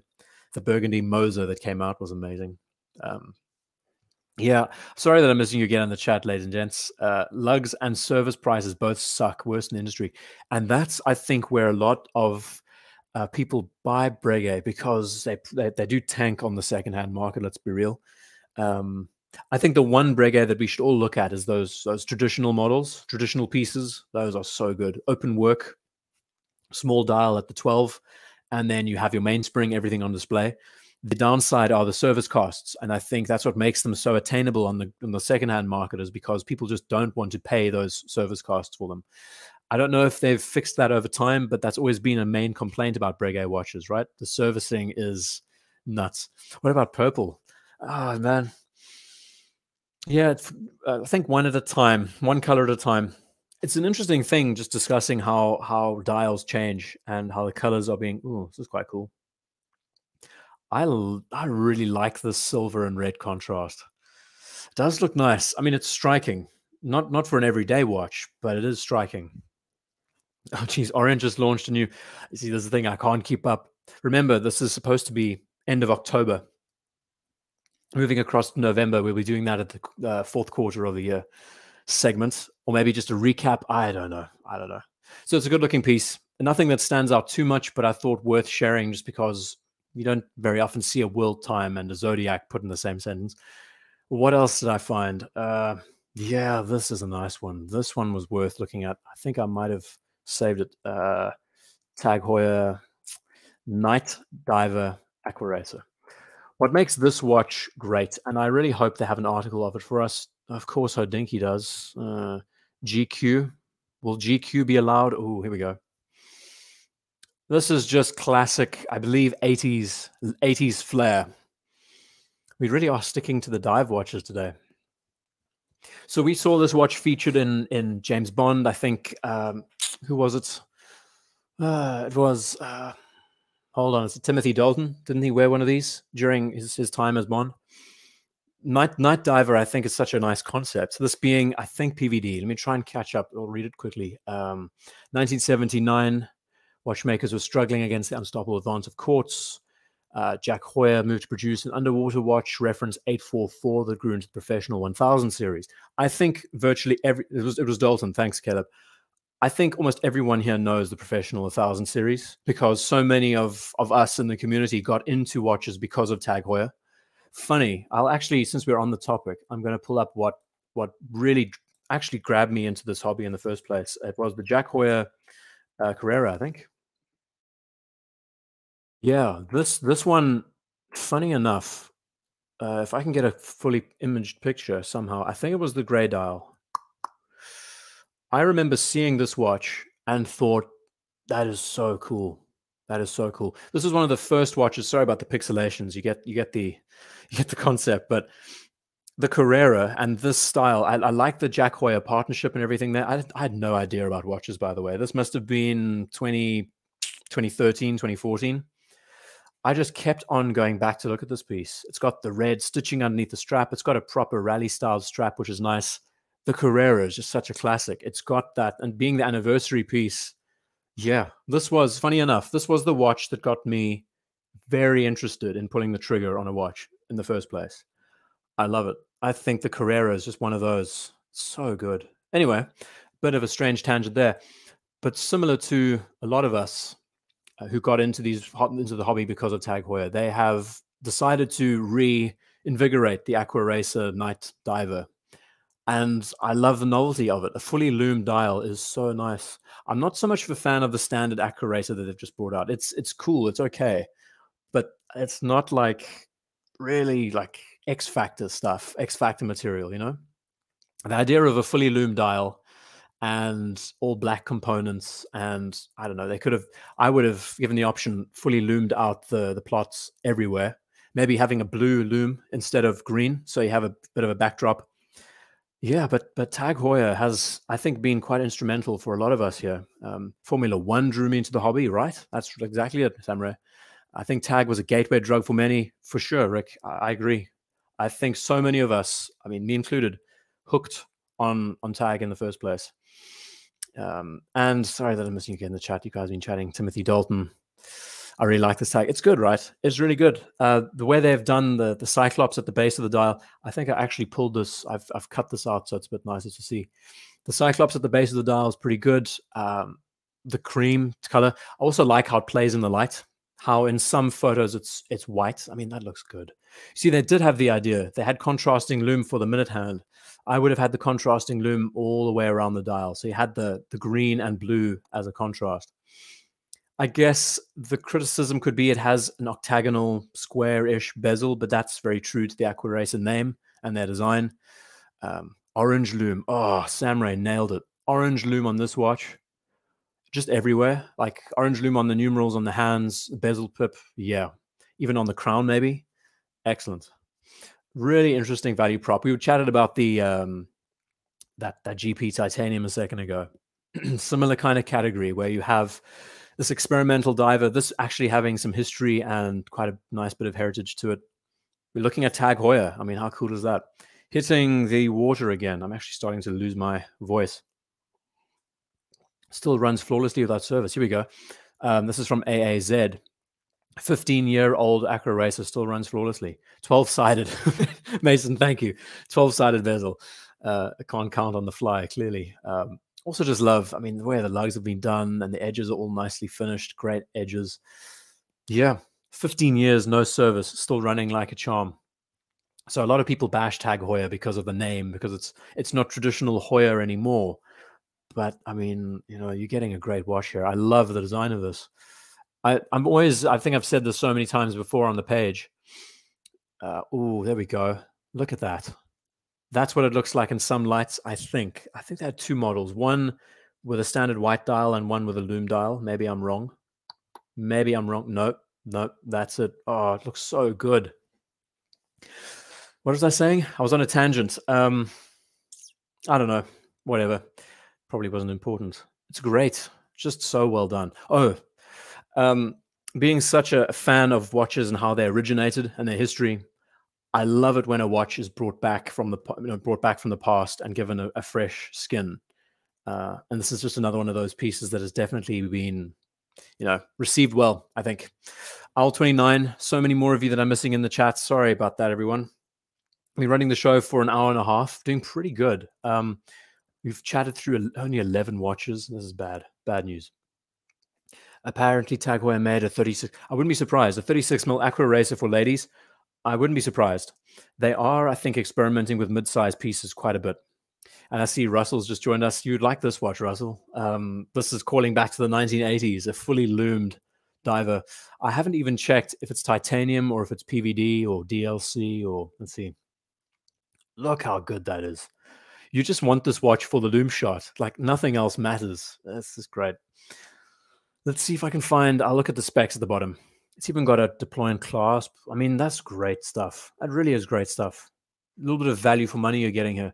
Uh, same price between 3K and 3.5K. They're talking about competitors like Oris, Tudor offer in-house movements. Oh, uh-huh. That's interesting. So this uses a Sellita SW200. They're asking between 3 and 3.5. Watches and their prices. At the end of the day, that's what seals the deal, hey? You know, Biver's still running tag. I don't know. I'll maybe someone can mention in the chat if if Jean-Claude Biver is still running tag Heuer. But great Ulysse Nardin diver, that is a goodie. I, did that come out? Was there a model? Oh, there was. No, a skeleton diver of some kind. Maybe you can have a look at that later. Samurai saying it's a caliber five ETA. Oh, ETA base. Is this it? Why are they saying Sellita here? Um, caliber five is based on Sellita. Okay, got it, got it. Very interesting. Yeah, it's just a great package. I love, I just love the design. I think the strap's been nicely implemented there. It's it's good to see the Aquaracer back on form, and this is the USP that you want for a watch like this, don't you think?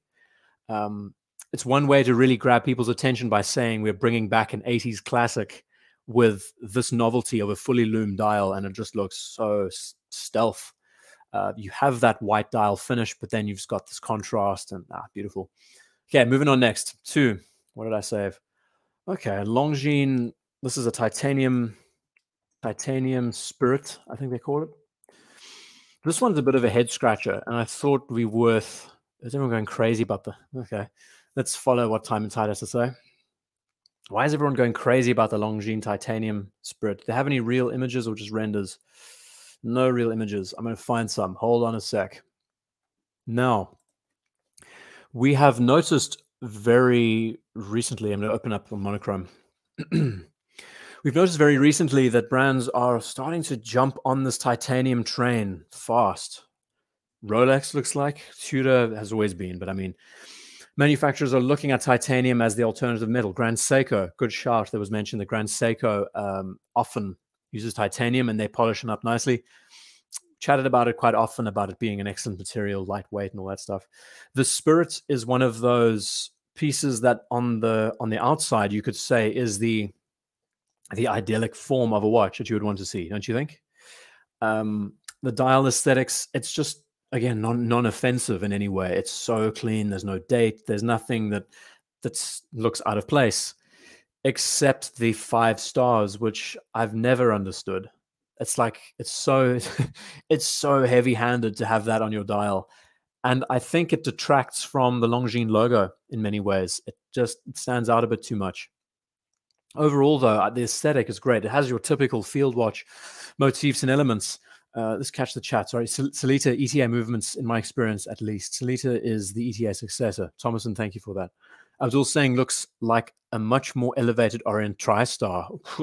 That's one thing hey one way of saying it yeah, so they brought it out on bracelets and on uh, it looks like a nylon strap. I think the actual color of the watch and the way the polishing works is very nice. We've seen titanium used now with the big eye and many other pieces that they're offering. So yeah, chronometer rate. I guess it has chronometer certified specifications. Maybe we can have a look at that in a sec. Uh, but it's just an interesting piece. to talk about lug length being too long. I want to chat, chat about that in a sec. But it just looks no nonsense apart from the five stars. No nonsense and the five stars for awards they won years ago. I, I always thought that that was a part of it. I always used to call this watch the flagship because I believed it was something to do with its uh, heritage, similar to the uh, Omega Globemaster and the constellation, always having the star to represent its its chronometer certification and that it's been um, the Meteorology Institute basically certified it to be an excellent chronometer for its application. I thought that had to do with the process, but maybe it's just a gimmick. I don't know. I'll have to have a look at the, the reading. Represents that as a chronometer. Okay, Eric. So it's so it's the same then as as Omega. I like it. Okay. I think it's a bit too much, personally. I think one star would be good enough. Five stars. Uh, the one thing, the one comment this watch always gets when I show it to people is Why does it have five stars? Why so much down here? Because it almost, you know, you know what I would do in a situation like this. I would take the automatic, probably put it at the base, maybe even remove the automatic completely. Chronometer is nice. It's it's good to have that little little bash of saying yes, this is chronometer certified, so it's it's a much more accurate piece. I just love the aesthetics though. The diamond elements at the at the batons. Uh, it's actually got some stepping to it. There's depth to the dial. The the pencil hands are perfect. Just so good. Why don't more brands do this with their pencil hands and finish them off? So many just cut them off as rectangles and don't don't leave any space. I mean, it looks so good. Very nicely done. So it's not it's by no means exciting. I mean, this watch has been around a while. The, the big difference is the titanium case and bracelet. Uh, the recycled Longines mark of excellence. Thanks for that, Pedro. Small seconds mirroring the chapter ring instead of the stars.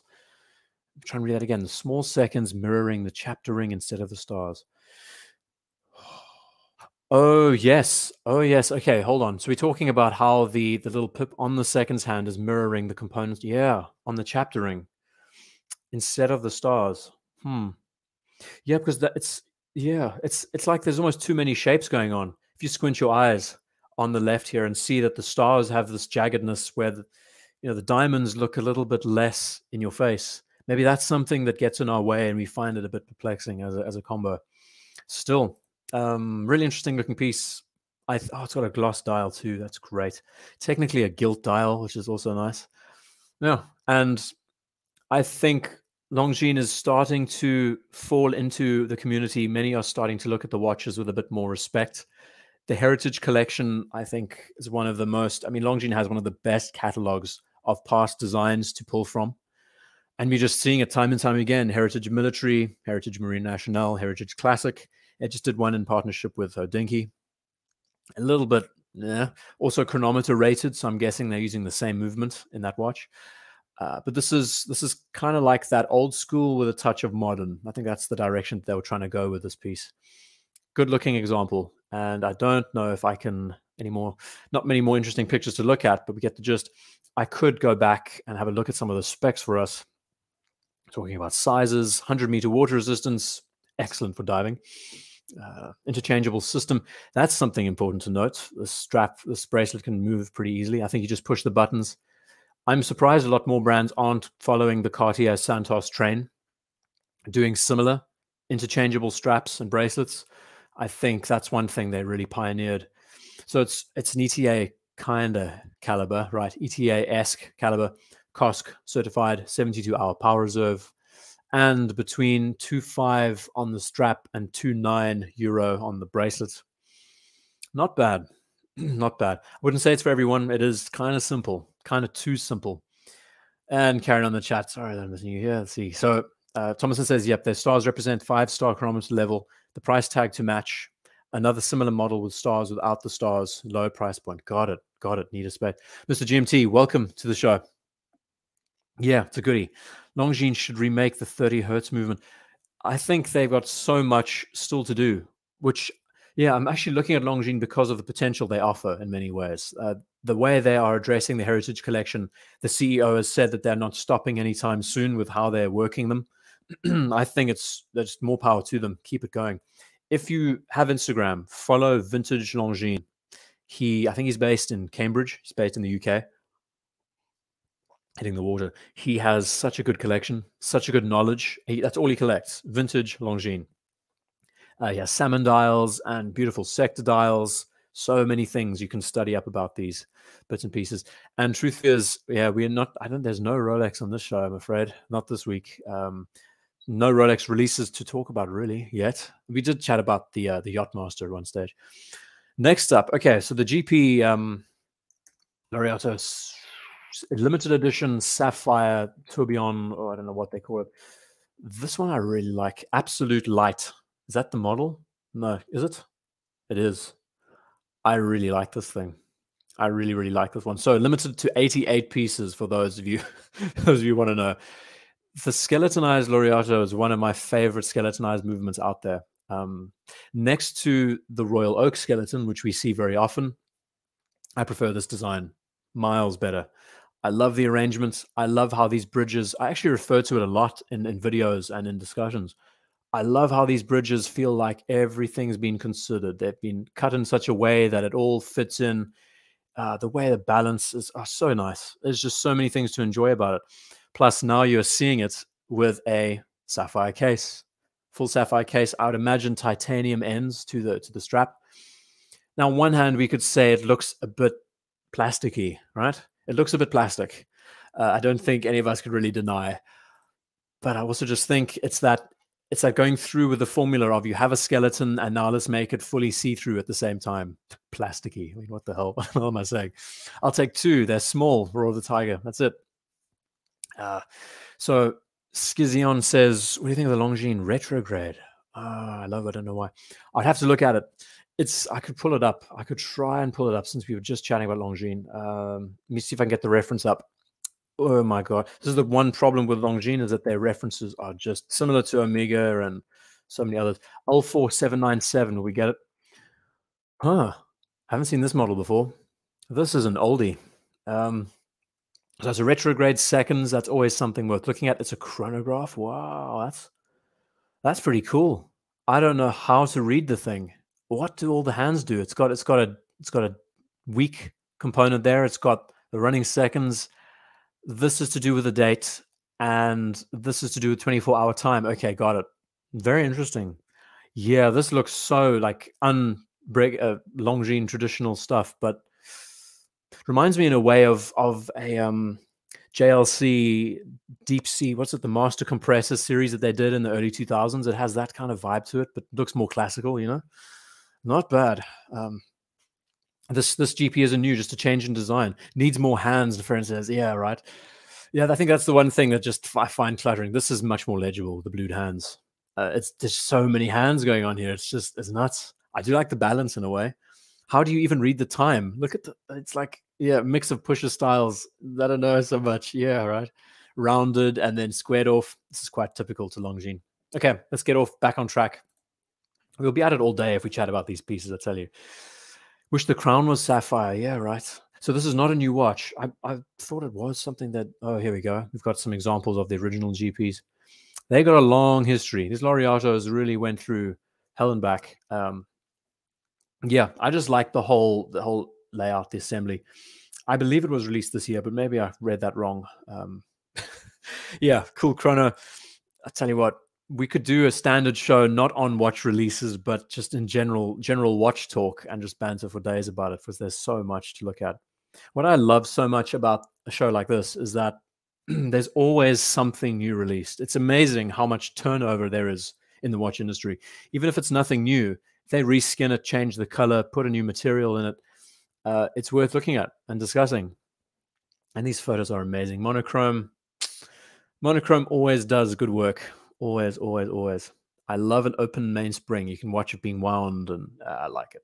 See, the Rancher's joined us. Welcome, the Rancher. Um, I quite like the JLC Master Geographic. Same, same, but different. Yeah, yeah, the Geographic's a goodie. Um, I really had this fixation. I think it was the Master Control Diver. No, the Master Control Memovox. That one I looked at a while back. I really like that for some reason cool looking piece. Definitely not a watch for everyone, but the way they've gone with skeletonizing and at the same time sapphire case and everything there, I love the finishing. Look at that rotor. Even the rotor's been evacuated. Uh, 88 limited edition. I mean, so many limited editions. We're not done with limited editions, by the way. Going to see a couple more of them like to come here and learn. yeah, the Ranch. I don't know what we're doing. It's just usual banter. Um, got to hit the whiskey or something to keep my brain going. How long have we been running? An hour, two, an hour and forty, hour forty-five, I think. Yeah, not bad. Yeah, this show is it's very higgledy piggledy. You know, just throw in whatever I found interesting over the course of a few months. Uh, this. Hold on a second. Have I just missed something? Check this out. The hands are different. What is going on here? Is this the older one or the newer one? Oh no. Did anyone else notice? Nice swatch, Forbin says, right? I, I mentioned it looks kind of plasticky at one stage. What's with the hands? Why are they different? We I think in the biz we call these pincher hands. I think that's that James mentioned that to me at one stage. We call them pincher hands. Um, but we have pencils on here. I, I think this is the more traditional style of hand that they're using. Swatch jellyfish. I mean, that's a classic. What about G Shock? G Shock and their jellyfish style watches. I don't know what they call them today, Ghost or something. Nice looking piece. I, I really like it. Really like the presentation. Okay, next up, what do we have? Aha. Now, don't turn off your sets. Uh, code 1159. What is this called? It's the Tourbillon two tone, I think. I think. Uh, watch by Est- okay, monochrome covered it. Open work, that's it. So it's it's called the the open the names of these things. Audemars Piguet Tourbillon Open Work, now two tone in gold. Now, I'm wondering why this one has a leather strap and the other has a nylon strap. Uh, don't ask questions, just keep going. the debate around the 1159 is always uh, going to be open. I think we're always going to discuss this watch and how just strange it is and how it doesn't feel like like AP at all. But the funny thing is they've used lots of elements that do harken back to AP in their designs. So I mean, like we look at the, the hands that they use. This is so typical of the perpetuals that we saw that belong to classic AP lines uh, previously, like the 33 mil models and all of those. I, I I freaking love this arrangement though.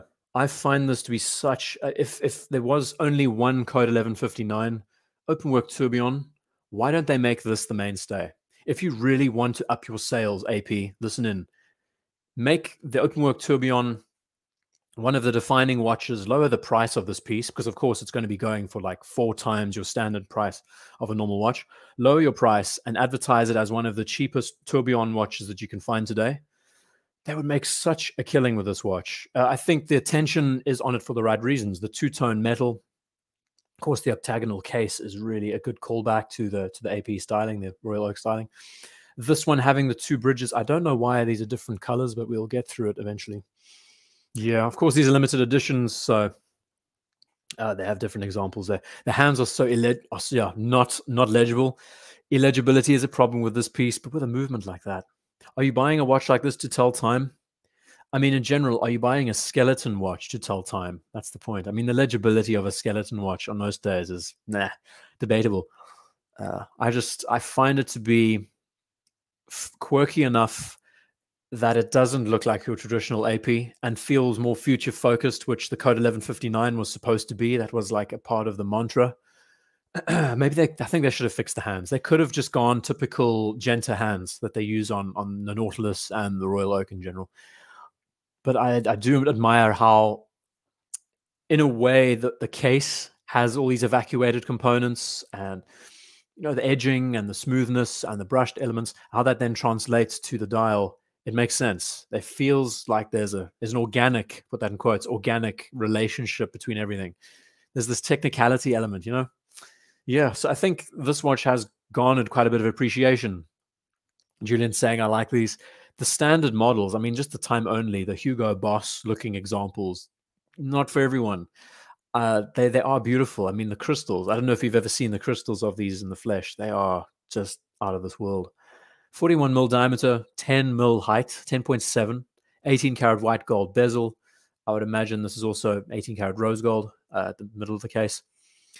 The reference, if you want to know, is 26600CR00D009K. It's it's it's extensive, 175 Swiss francs. So that's quite a lot. That is quite a lot. In a grey lacquered flange with, yeah, uh, they're talking about all this. I don't know if this is the model that we're looking at on the left. This is the more recent one, I think, with the two tone. Maybe these are just different examples. This one's a lot more legible, contrasting metal for the hands. Hands are way too thin. Yep, I think we can all agree on that point for sure. Again, tourbillon that's all centered nicely. We had a look at that Hublot, similar kind of style there. Looks good uh, carrying on. I'm going to meet you in the chat. Sorry that I'm slowing down. Slim hands is legibility not important to anyone here. Small date windows. yeah, Abdul. I think a lot of us uh, and Megan says, sorry, I just can't get into the Code 11 watches. Sorry, stick to normal APs. And I mean, that's the thing. Would you rather have an AP Royal Oak or would you rather have the Code 1159? And I think 99% of people will say that they'll get a Royal Oak before one of these. So Yeah, it's, it's difficult to know what to do to remedy a watch like this. It was bold, put it that way, quite adventurous for them to go so far with this this design. The perpetual calendar is amazing with these two. Aventurine dial, they did one of those. It's a mouthful of code. References too long. Yep. I mean, it falls into the the whole bracket, you know, being a code 1115. Even the name was it put together in the final minute? I, I've never understood the name either. Hey, now we're talking. Right. Uh, 1815. What was this? The concourse.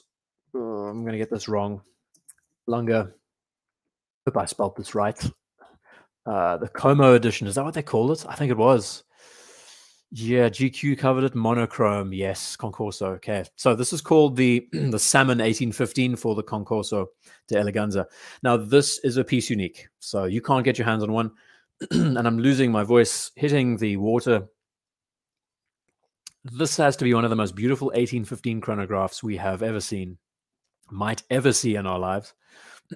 Apparently, it's Fisherman's Friend time. Has to happen. The voice is uh, acting up on me. Hold on a sec. One of one. And the best, I love the monochrome article because you go to the bottom and it says price not relevant. It's the most, it's just beautiful. Okay, so what do we have? I I don't even know if it's platinum or white gold. This is bad of me. Um, lots of talk about this being a salmon dial. Apparently, it's a rose gold dial. It's not actually salmon. They they've got this other system they use to it. Solomon, yeah, uh, aka the Fandango. Uh, piece is nice. Code eleven now worth consideration at, at a fifty percent discount. Yeah, why not? So it's white gold. Thanks, that Russell so concourse of elegance. I mean similar to the concourse of elegance in the uk and many other places it's just a time to show off amazing amazing classic cars. Oh let's have a look at these images. Let's full screen this. This is this is lake como right? I mean this is the kind of stuff that films and movie sets are made of. One of the most beautiful places in the world yeah, I think a couple in the chat have been and, and live on Lake Como. So props to you. Amazing setting. And then you get to the cars 300 SLs. You have all the Ferraris. You got beautiful, just like Triumphs and Alfas and classic Ferraris. And I don't even know what this is. They're all prototypes. The winner of this watch, by the way. So what happened is basically um, your car. Oh, look at these things. Is that a, that's an Abarth. Whoa. I thought it was a Studebaker for a second. The winner of this event won this Lange on the left hand side of the screen. And there's lots of little uh, quirks that make it even more special. It's got a Hunter case back, so many more little bits and pieces. So I'll be sure to share that with you here. Let's just admire some cars for a second. This is a classic Maserati. These are all like from the 50s, I'd imagine.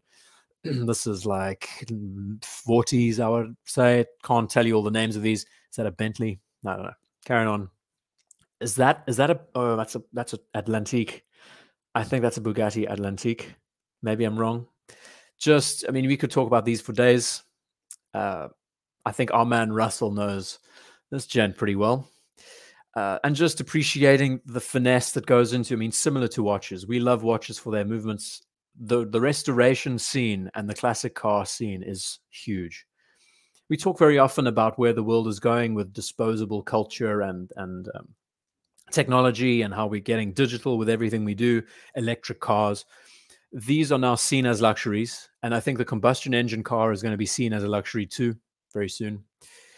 Uh, but this is just, that's a BMW the guy's sitting in. I wonder what that might be, a 2002 or something. Interesting choice of car. I mean, I'm wondering, could be a 2002 he's sitting in with a watch like this. Just so good. A lot of these are renders, a lot of these are real. 1815 chrono is amazing. It's a flyback. It's very simple for what it is, but I love, I mean, the colors just is what makes it sing. Unfortunately, it's a one of one. I don't know what the winner is gonna is gonna do with a watch like this.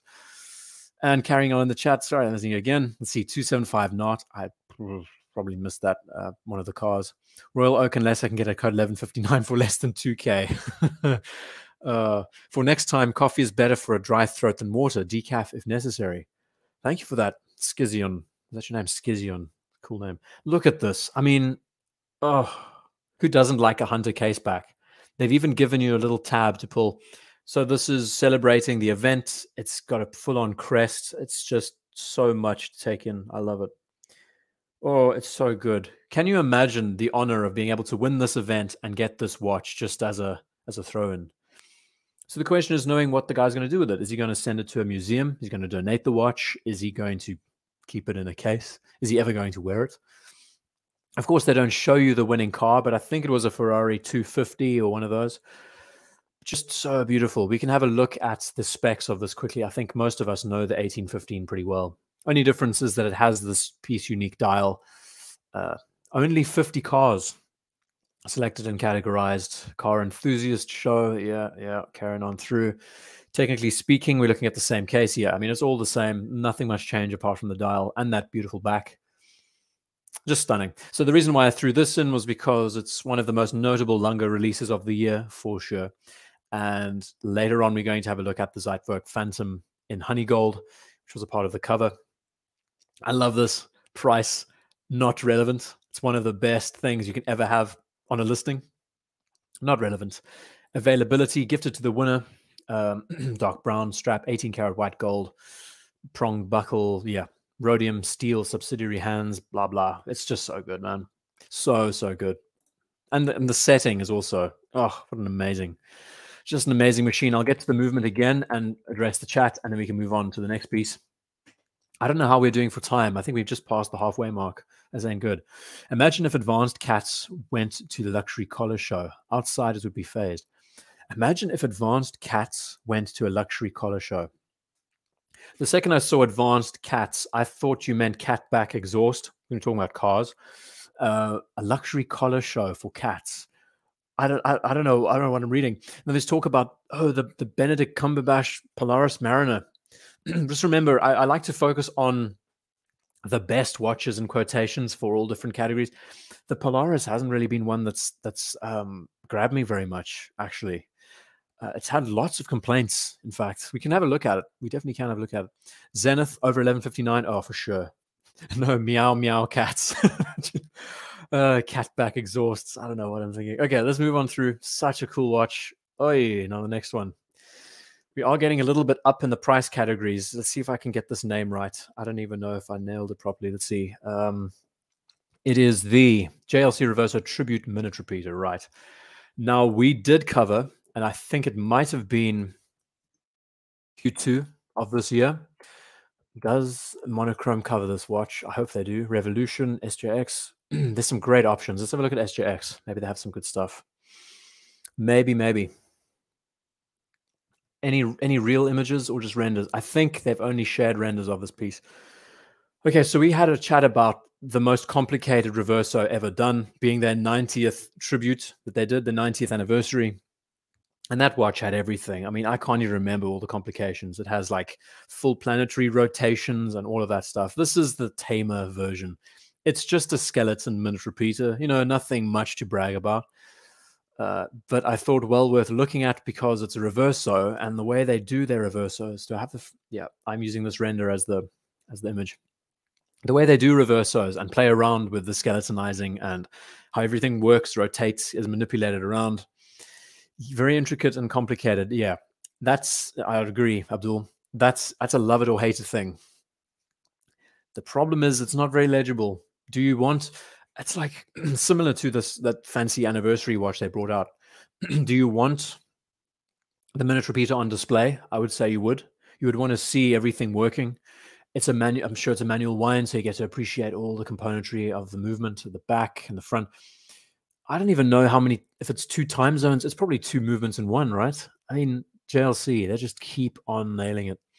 What do you prefer? Do you prefer a more open three dimensional city, or do you prefer the the vertical uh, polishing of the back. It's amazing. I mean, minute repeaters are nothing to scoff at. And I, I say time and time again, the way that JLC with their reversos, they don't compromise on the reverso aesthetic. They fit the movement into the watch. They don't fit the watch around the movement. They are that advanced as watchmakers that they will make it fit. It's like any good mechanic, you know, it will fit. You just use a hammer and a couple of screws, you'll get it done. But at least it's a minute repeater, so legibility is replacing the tone of telling time, Abdul perfectly said. And I mean, that's the whole point of the minute repeater, right? Originally just done because you couldn't see the, the watch face in your mansion where you have no uh, no lights on in the house, you have candles, and it's much easier to hear the time than to actually read the time. I wonder if any purist still plays polo in these. Imagine playing polo in one of these. I mean, that's like that's a risk. I don't know any. We can have a look at the the release and the limited edition component and stuff. I'm sure they've only made a few open dial. It's just so beautiful. You just cannot critique JLC. The reverso is just. Is there a reverso they do badly? Is there ever a reverse? I mean, when you get a reverso, you have done so well. I think that's what I said. I made a video like three years back. It basically said that if you get a reverso, whether it's the classic standard time only, you move all the way up to this category of tourbillons and minute repeaters and skeleton dials, it's an it's a success because there's no feeling like you're missing out on something when you get the watch. You know, it just it caps it captures. Oh, it's so good, man. So so good. So it looks like that they've they've got two crystals, crystal at the top and one underneath, and it's like a skeleton floating floating arrangement for the batons. Ooh, it's good. Bear in mind that these are actually circular movements they mount onto a square chassis, which is pretty interesting. JLC know that life through microscope is a different universe, right? I wonder if those scales are more stunning and possibly more legible. Maybe. We're talking about you know lighting and how light works. I think to improve, I mean, to improve the legibility of a watch in general, making the hands brushed would probably add a bit of difference. If these hands were not polished but brushed instead, I know they're Dauphine, so they're split down the middle. You can see the light play. if they were brushed, something tells me that it'd be even easier to read at offset angles. It's just beautiful. It's so complex. It's real artwork. And I know this is definitely not one for us to all appreciate. It's would you call it you couldn't call it the purists reverso in any in any way. This is the one who wants to go down the route of really appreciating what the minute repeater represents. Best Richard Mille skeleton alternative. Yeah, right. This or Richard Mille. Which would you go for? I like that. Can think of so many other minute repeaters I'd prefer to have on the wrist. There are. I mean, what what do we have? APs. Uh, where do you even stop? I think we're going to have a look at Patek minute repeaters later on. I can't remember, but yeah, I uh, once the one thing I love. I think I've said this so many times. I'll repeat it again: is that JLC doesn't compromise on their cases in order to fit the movement in it. They work around that formula. So special to see. Are we going to see both Rolex and Tudor Coke GMTs in 2022? Mo and less. Oh, that's interesting, huh? There's been chatting about that. You know, the um the Black Bay 58 GMT is due. I think that's going to happen. I believe. JLC price. Yes, let's get to that, Julian. Sorry about that. Um, 51 mil case diameter, height, pink gold, sapphire. Oh, 250 excluding taxes. It's good to know. One of 10 pieces out there. So so there we go. 35 hour power reserve. Huh. 26 beats per hour. That's pretty good. They've lowered the beat rate. Can you imagine if it was a 2800? I think it would probably be like a, a, less than a 30 hour power reserve on the piece. Yeah, so there's been lots of talk about um, Black Bay 58 GMT being a possibility. I like that. Uh, as far as Rolex with the titanium Yachtmaster, I I actually chatted about it before as the show began. Yes, I think that's very possible, as well as that Tudor Snowflake. And I just had another deja vu, two deja vus in one show. So strange. 250k beta bargain, right? Right, it is. It sure is a bargain. Play polo with that any day of the week. What do we have up next? Uh, I don't remember. Let's see. Let's see. No, okay. Okay. Are we going to chat about the chronoscope again? I made a video about the chronoscope. It wasn't seen by many people. I'll I'll link it in the corner of the screen. Let's see if GQ has any. What the? What kind of? What have they done here? I don't know so much about that presentation. Iconic watch gets a revamp. Let's get some live images. I can't these renders. You can only take so many renders in your life, you know. Uh, yeah, let's chat about this this funky machine. I wouldn't say this is one of the best watch releases of 2022. Um, I'm interested in knowing your thoughts. I don't think we've actually chatted about this watch live at all. Shall we comment Y for yes and N for no? um, one thing I like is this arrangement. I do think the the the panda style is pretty good, but head scratching, head scratching to say the least. I'll be sure to link the video in the corner of the screen if you'd like to watch it. But I do a redesign and I take the first Omega in space case, I put it on a beads of rice bracelet, I make the dial fit the watch a lot more. I just find the dial and the case are so just contrasty. It's not that not many watches to love this quarter. You're right. You're right. That's one thing that stood out to me is that you're seeing reskins. You're not seeing anything new that stands out very heavily. So Rob's just joining. Welcome, Rob. Uh, we are going and chatting about the res is horrendous. Blue is okay. Freddie Turner says no. Busy dial. Nope. Yep. Yep. Chronoscope too busy. The watch is horrendous. Dog's dinner of a watch. Oh my goodness, I love it. Quarter of a million. Yeah, we're not talking about the reverse anymore. I think it's. I wouldn't say a near una- unanimous no, but it's definitely not one that's settled with a lot of people. I wonder. Monochrome did it. Sorry that I'm clearing my throat. I uh, I'm struggling here. A bit more water. Monochrome did an article on it. We can have a good look at some images up close. Yeah. So Omega has the the watches they made in the 40s were so beautiful. Like if you watch that that quick clip that I did on the watches, the the chronograph 33.3 and there was so many references that were attached to it. The 28, I think the 298 or something. No, it wasn't something something like that. Watches in the 40s, they all had this type of dial with the pulsations and the, the telemeter scales some excellent feedback on this watch. Things like get rid of the tachymeter scale, put the telemeter on the outside, make it maybe a smooth, smooth bezel instead. You know, all of those things. Navitimer on steroids. I mean, that's something. Yeah, I, I believe what they did. I mean, my my rationale is that they introduced this watch with this case because it's a new one. It's a 43 mil case. It's now got a micro adjust clasp on the bracelet, which is something very nice. I'm actually really looking forward to hearing how that goes and if people like it. Can I get this full screen? But that dial is, yeah. I mean, it's enough to really make your brain hurt. Hey, we zoom all of this in. Just look at that. Look at what's going on. It's like looking at stock trading right now. it's a mess. okay, let's get back to the chat. It's a lost art. It is. I think dial designs in general are a lost art. It's it's nice to see they're bringing they're trying to bring this back. I just don't think they did it that effectively with this case and this design. Less is more, Nicholas says in a way, I, I, like that it has the Swiss Army knife effect, in a sense that you're getting everything with a chronograph. You're getting the pulsations and the telemeter and just such useless features, but they also what called back to that that era. But then again, so the reason why they debuted this watch with this case is because of the new size and the clasp. If I can get, I don't know if they shared anything. Ooh, that's good. I mean, that looks good. That really looks good for all the for all the criticism we give the watch. Um, I mean, this looks so true to that. What's the model? CK two nine nine CK two nine nine eight. The first Omega in space, dial models. I think, yeah. Thomas just Thomas has mentioned in the chat that original styling, the straight lugs. If they did that with this watch, I think that would, it would be received better. But on a leather strap, this does sing.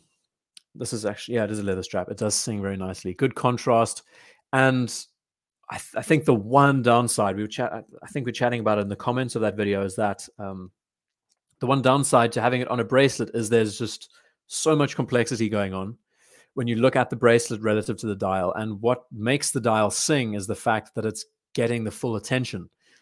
Give it the full attention by eliminating anything that distracts your eye away from it, and all of a sudden you have something that's really beautiful.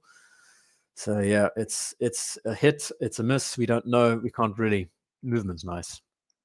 And I remember making this critique in the video saying that the movement should have been more decorated. I did not know it was a uh, vertical clutch column wheel, uh, which means that it's generally not that decorated in any case. Um, so they did pull a bit of pocket watch styling around it. Nice case and bracelet doesn't need an open case back, which is wasted on movement. Yeah, yeah. Being being a vertical clutch, generally they're not pretty at all, but that's just the way it is. Speedmaster case was the wrong choice. It unfortunately was. It's also good. I, I say this a lot about Omega. It's good to see that they're trying. They are experimenting with these funky ideas that other manufacturers aren't. They're not taking the safe route in quotes. But then again, yeah, we don't know. No, it looks like the watch that ate ate the Speedmaster. Yeah, this watch would have looked better with an internal tachy scale. Yeah, I mean, get rid of the bezel altogether. I think would make a difference, and then yeah, just cleaned it up a bit more. I love the intricacy. That's one. I think that's the one thing that's dividing me on the watch. I do love the intricacy of all these elements inside. The technicality. Not that you'd be able to read any of it, but yeah. Oh, and I see Jim Little saying, Did I miss the coverage? You have not missed the coverage of the overseas. We're going to cover that right now. This I'm really impressed with, though. That is so good. This I'm not so chuffed about. I don't like how they've semi like half the link like that, but the whole push to adjust. This is a much better system than they originally had um, on their Seamasters and models. I think this is so much more, you know, standout, easier to look at. It doesn't seem like it's tacked on at all. I mean, this is such a welcome change. I don't know why it's taken them so long to put a push to micro adjust on a Speedmaster. I mean, they're even the the Ed Whites and the latest Speedmaster models, the professionals, the 3861s, they're still using holes, holes on the clasp. How can you? How, I mean, you know, it's that just quit, scratch, scratch my head. Um, more subtle contrast needed. Light gray dial. Yeah, I like that, Forbin. Good point there. Doesn't work. It sure doesn't, Marco. I know we've definitely meshing two different eras, 40s and 60s and 70s. Yep, that was my top uh, critique on it for sure. Putting a putting a standard, you know, the original CK cases on would have looked good. Clasp still doesn't compare to Rolex. Let's be honest. No, it doesn't. They they are different animals. They are different animals, but in a different way. I will say that I do like how easy the adjustment on the fly is with this next to Submariner bracelets and Easy Links, actually, because you, especially the Submariner bracelet, it's a lot less finicky. These have two or three adjustments where the submariner you have to pull you have it's it's more movement required. You have to take it you have to open it and you have to like lift and move across. It's a bit of an awkward movement where this it's one two three clicks close it you're done. It's a much faster process which i like.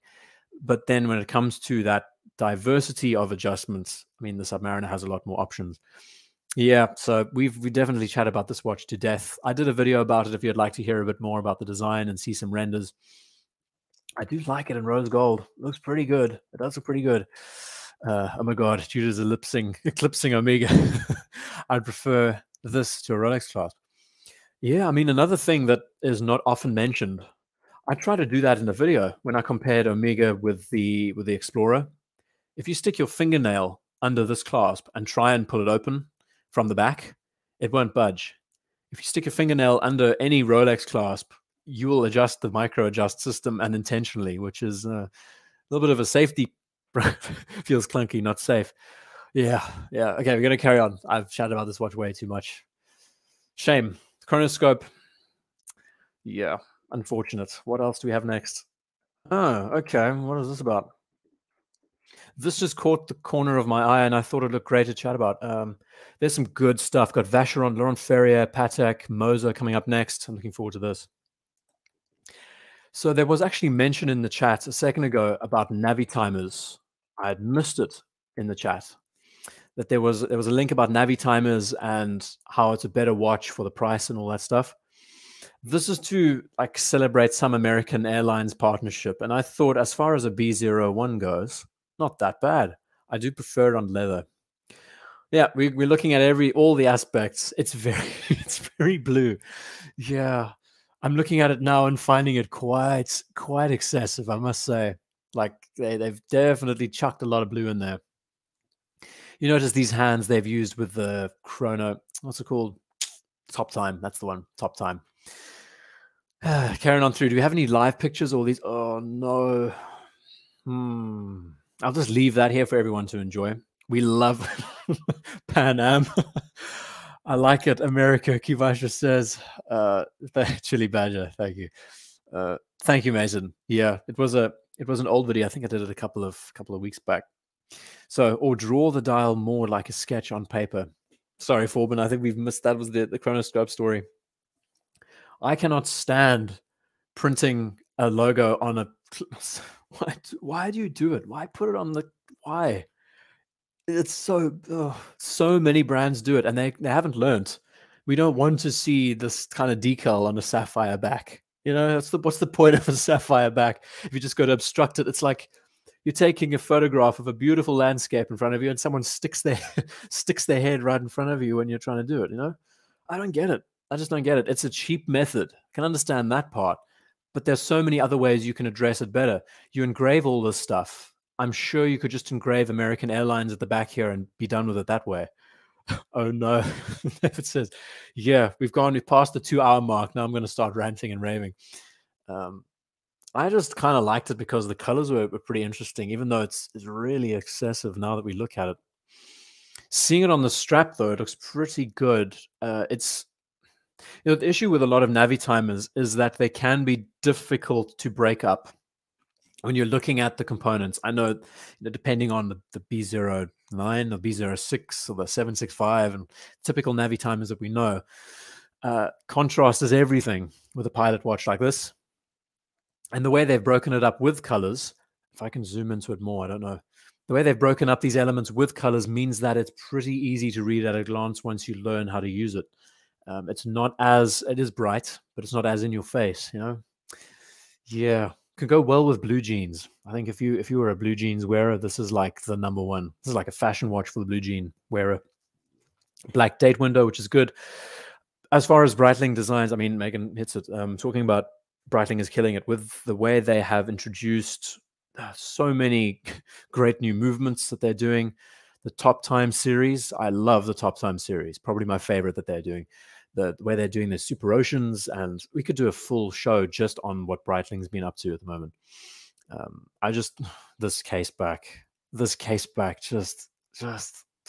So again, it's American Airlines. If you missed it earlier, don't know so much about the shark mesh on it either. It calls back to that time, but yeah. So my my commentary on this watch is I like how they've broken up the elements with colors to make it a bit more legible, easy to read, to break up.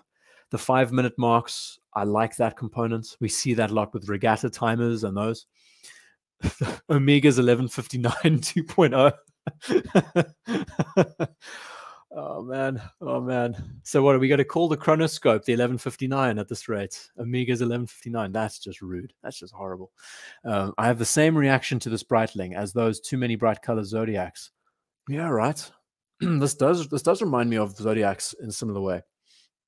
It could use a denim jean strap. Yeah, like the like the Aquaterra. Okay, this one clearly hasn't won anyone over. May as well stick to the south of England seagull with a French fry in the beak on an exhibition seagull movement. Oh man, that's that's a kick right there, Chile. And you're based in the south, right? Truman saying that Strange Tudor outsells Breitling with their B01. And, and yeah, right. I mean, that's the funniest part, right? Tudor's using Breitling's. Uh, so so Breitling's using Tudor's standard automatic, and Tudor's using their their chrono. They're outselling Breitling. It's the same as I saw this post about Seiko's the other day that micro brands are competing with Seiko, using all of their movements and outselling so many Seiko. Yeah, it's it's industry, right? Using Seiko modules on their watches and selling them more than Seiko are selling their, their watches. I love it. I love it. Okay, we're going to move on. This one definitely hasn't rung true with everyone. Oh, here we go. Okay. I don't know what these are called officially. And I will be honest, I did not have a look at this when it was released. I just saw it and thought, hey, this is great that they've finally woken up to the fact that we all wanted to see this watch. Monochrome, get in there. right. So, what makes this watch cool? Uh, Cory Richards was given. He's a he's a photographer, photographist, and he is an explorer. He likes to climb mountains. He took uh, one of these models, a, a one of one titanium piece, on an expedition up to Everest he didn't make the climb that year, but it was just such a cool piece because it was a piece unique. It had a fully engraved, like a 22 carat rotor. I don't know if they feature it in the article. Let's have a look if they do. Uh, do they? Well, there he is. Yep. And there's the watch. Did they mention they show us the rotor? No, I don't think so. I really hope this is. I really hope this is the. I'm looking at the wrong watch, aren't I? Hold on a sec. Hold on. No, this is the. Okay, this is the one. You see, they look so similar, but they're different. Where's that movement shot gone? Come back. I had it a second ago. Wait. Uh, oh my. That'll do. it only took a month. I think this is the original movement. Okay. So it made it special. I mean, it's got a full 22 karat gold rotor at the back. It's got Everest engraved back there. It's really special. One of one. Uh, and I don't, I don't quote me. I don't know if this is the original or if this is the modern one. I again haven't looked at this release fully. But what they've done essentially is bring out the watch that we all wanted to see. They brought it out in titanium as the standard. This is the original. Hold on. They brought out a standard overseas dual time and then they've brought out a chrono. And this is a great looking chrono as well. The overseas has gotten so much attention to it now. Chatting about titanium watches, we're seeing it again and again, right? This VC is an improvement. Yeah, not everyone's a fan of the overseas line. I, love, I mean, the stealth factor on this watch is another level. Who doesn't love a 1655 Explorer? Well, there we go. You've got the option. Um, worldwide NH35 shortage. I did not know that, Eric. So I'm going to catch up with the chat again. I'm sorry that I missed you as always. Terrible back. Uh, yeah, everyone seems like texture dial strap combo works well. It's just beautiful. It's so so good. It's it's such an elegant looking dual time chrono as well. You know, you've got easy to adjust elements. I love the orange accents, the texture to the finish. There's the chrono. Funny how the chrono almost feels a bit generic. You know, that's not the watch that everyone's been looking at. It's it's the standard dual time that everyone is enjoying looking at. The chrono does look a bit too, you know, safe. How can you say safe about a watch like this? but it just doesn't look very exciting next to the, the standard dual time. Karen on to Jim Little saying, "What uh, what makes the VC Overseas Everest dual time cool? Everything. Yep, only 150. So just as they did a piece unique of the standard one of the of the, Cory Richards model, so they've only made 150 of these. It's a shame. It's a travesty. I mean, oh, this is the one titanium watch that I think collectors would go crazy for. Um, I mean, what else can we say about it? There's there's so much to take in. It feels like a real adventurer's watch. It's a it's a proper little sports watch. You know, casual, understated, but has all the ruggedness that you would want. I believe I'm going to have a look at the at the description, but I think this is a different coating of titanium. It has some kind of anthracite finish to it, or maybe it's carbotanium or ceramic or something. I'll have a look in a moment. Uh, Jack says that it's his grail. Oh yeah, I mean, as far as a grail goes, this is definitely one of them. It's sublime. It's it's also what I find amazing is it's it's, it's an icon at this stage. I think it's one that's managed to capture so much attention especially the the dual time. Look how safe the chrono looks next to it. The chrono doesn't look exciting at all. Isn't it weird? Uh, Cordura. Here we go again with bloody Cordura. I don't even. Uh, 41 mil diameter, excellent size with multiple finishes, sapphire crystal front back, multiple finishes. That's really specific. Um, gray Cordura fabric strap. God. Combined titanium and steel with multiple finishes, providing contrast, emphasizing certain elements six-sided bezel, lateral pushes, crown. Yeah, we're talking about the chrono now. Yeah, I think all of us are just looking at the dual time because that's the that's the beauty. It's a 42 mil, which is pretty nice. No hacking seconds. I can that's amazing. Truman, thanks for that point. Isn't it funny that the higher you go up in the horology space, so watches lose their hacking function? Yeah but it's just awesome. It's it's so nice to see this watch getting the recognition it deserves. I I dedicated a whole video to this watch because I thought it was worth sharing. This was like three years ago or something. Um, yeah, watches in general. There's it's just a rabbit hole upon more rabbit holes. Perfect Grail watch. It sure is. It sure is. I'm sorry again. Let's see what's going on. He didn't make it to the top of the Everest because the watch was too Vatican. yeah, the story goes that the weather was just terrible that year. That must suck. Eh?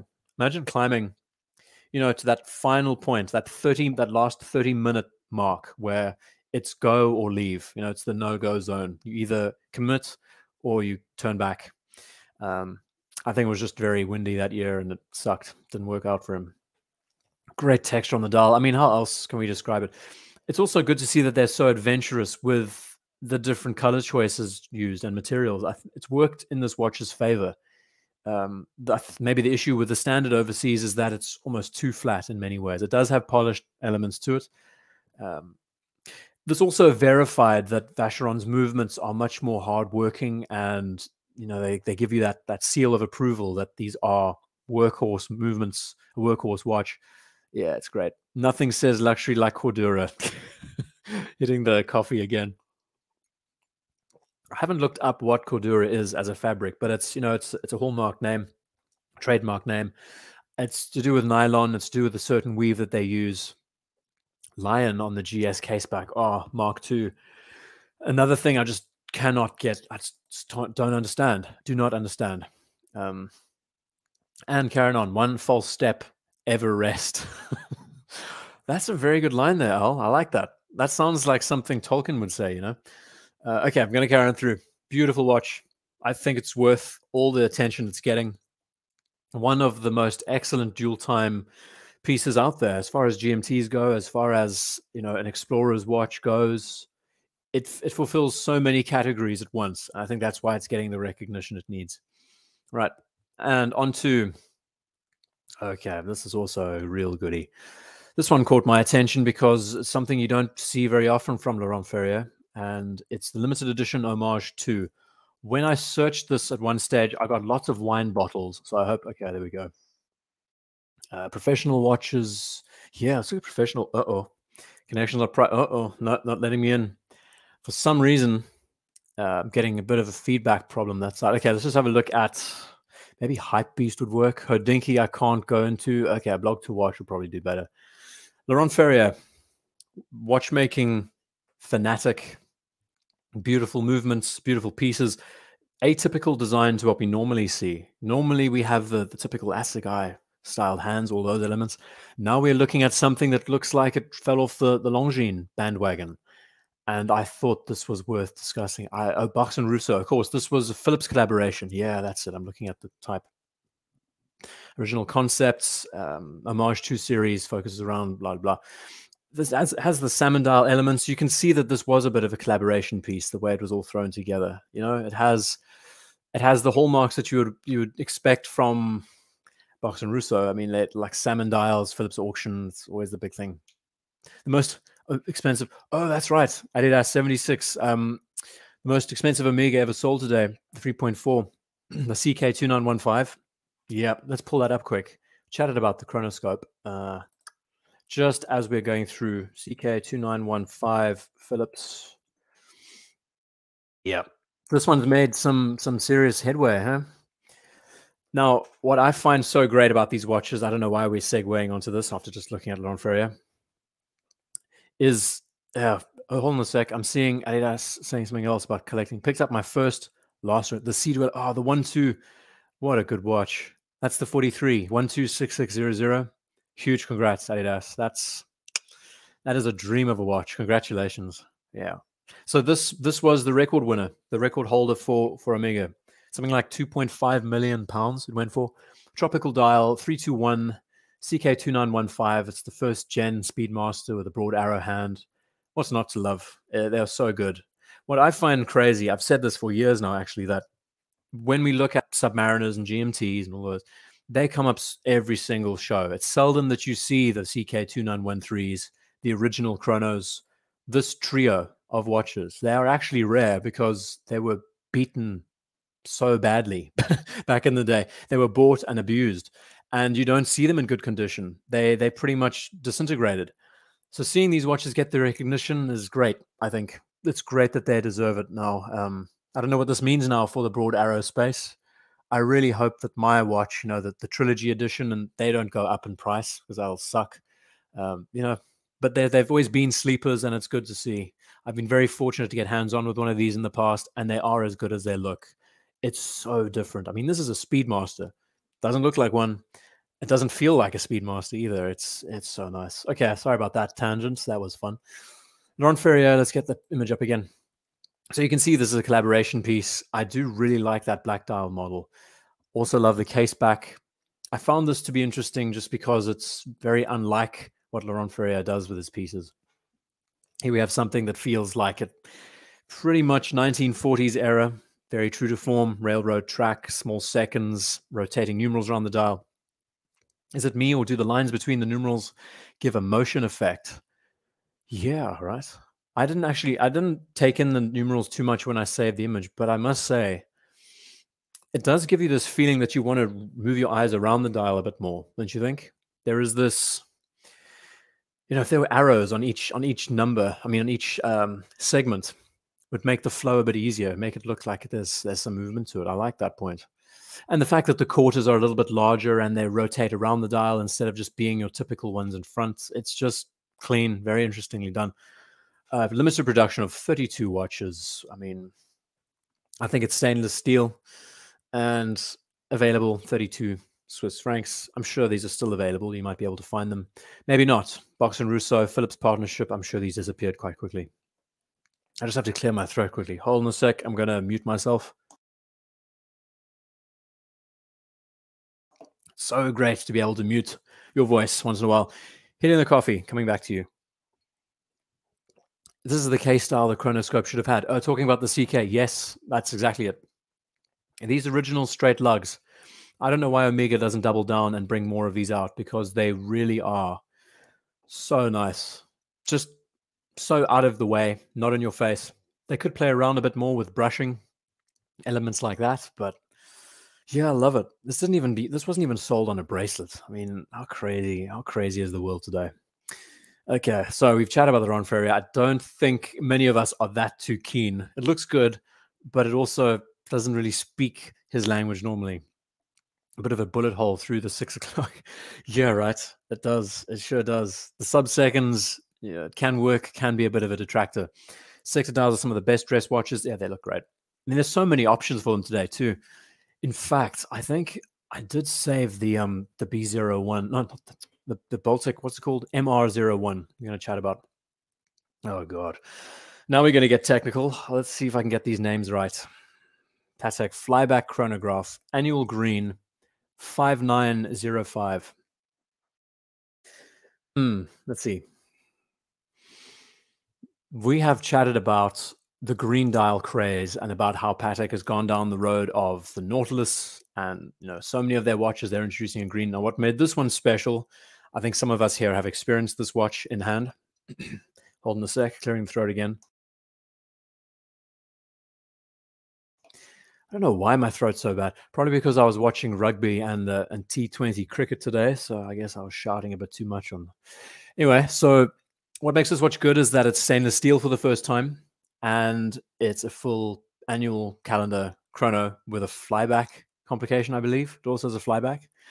Olive green dial is something they're trying to do, and I love the point. If, if Jean Claude Biver is still watching the show, he mentioned a point about how all the attention is now on the steel Nautiluses, and it's such a good way for them to reintroduce the idea that this is what Patek's known for as a brand.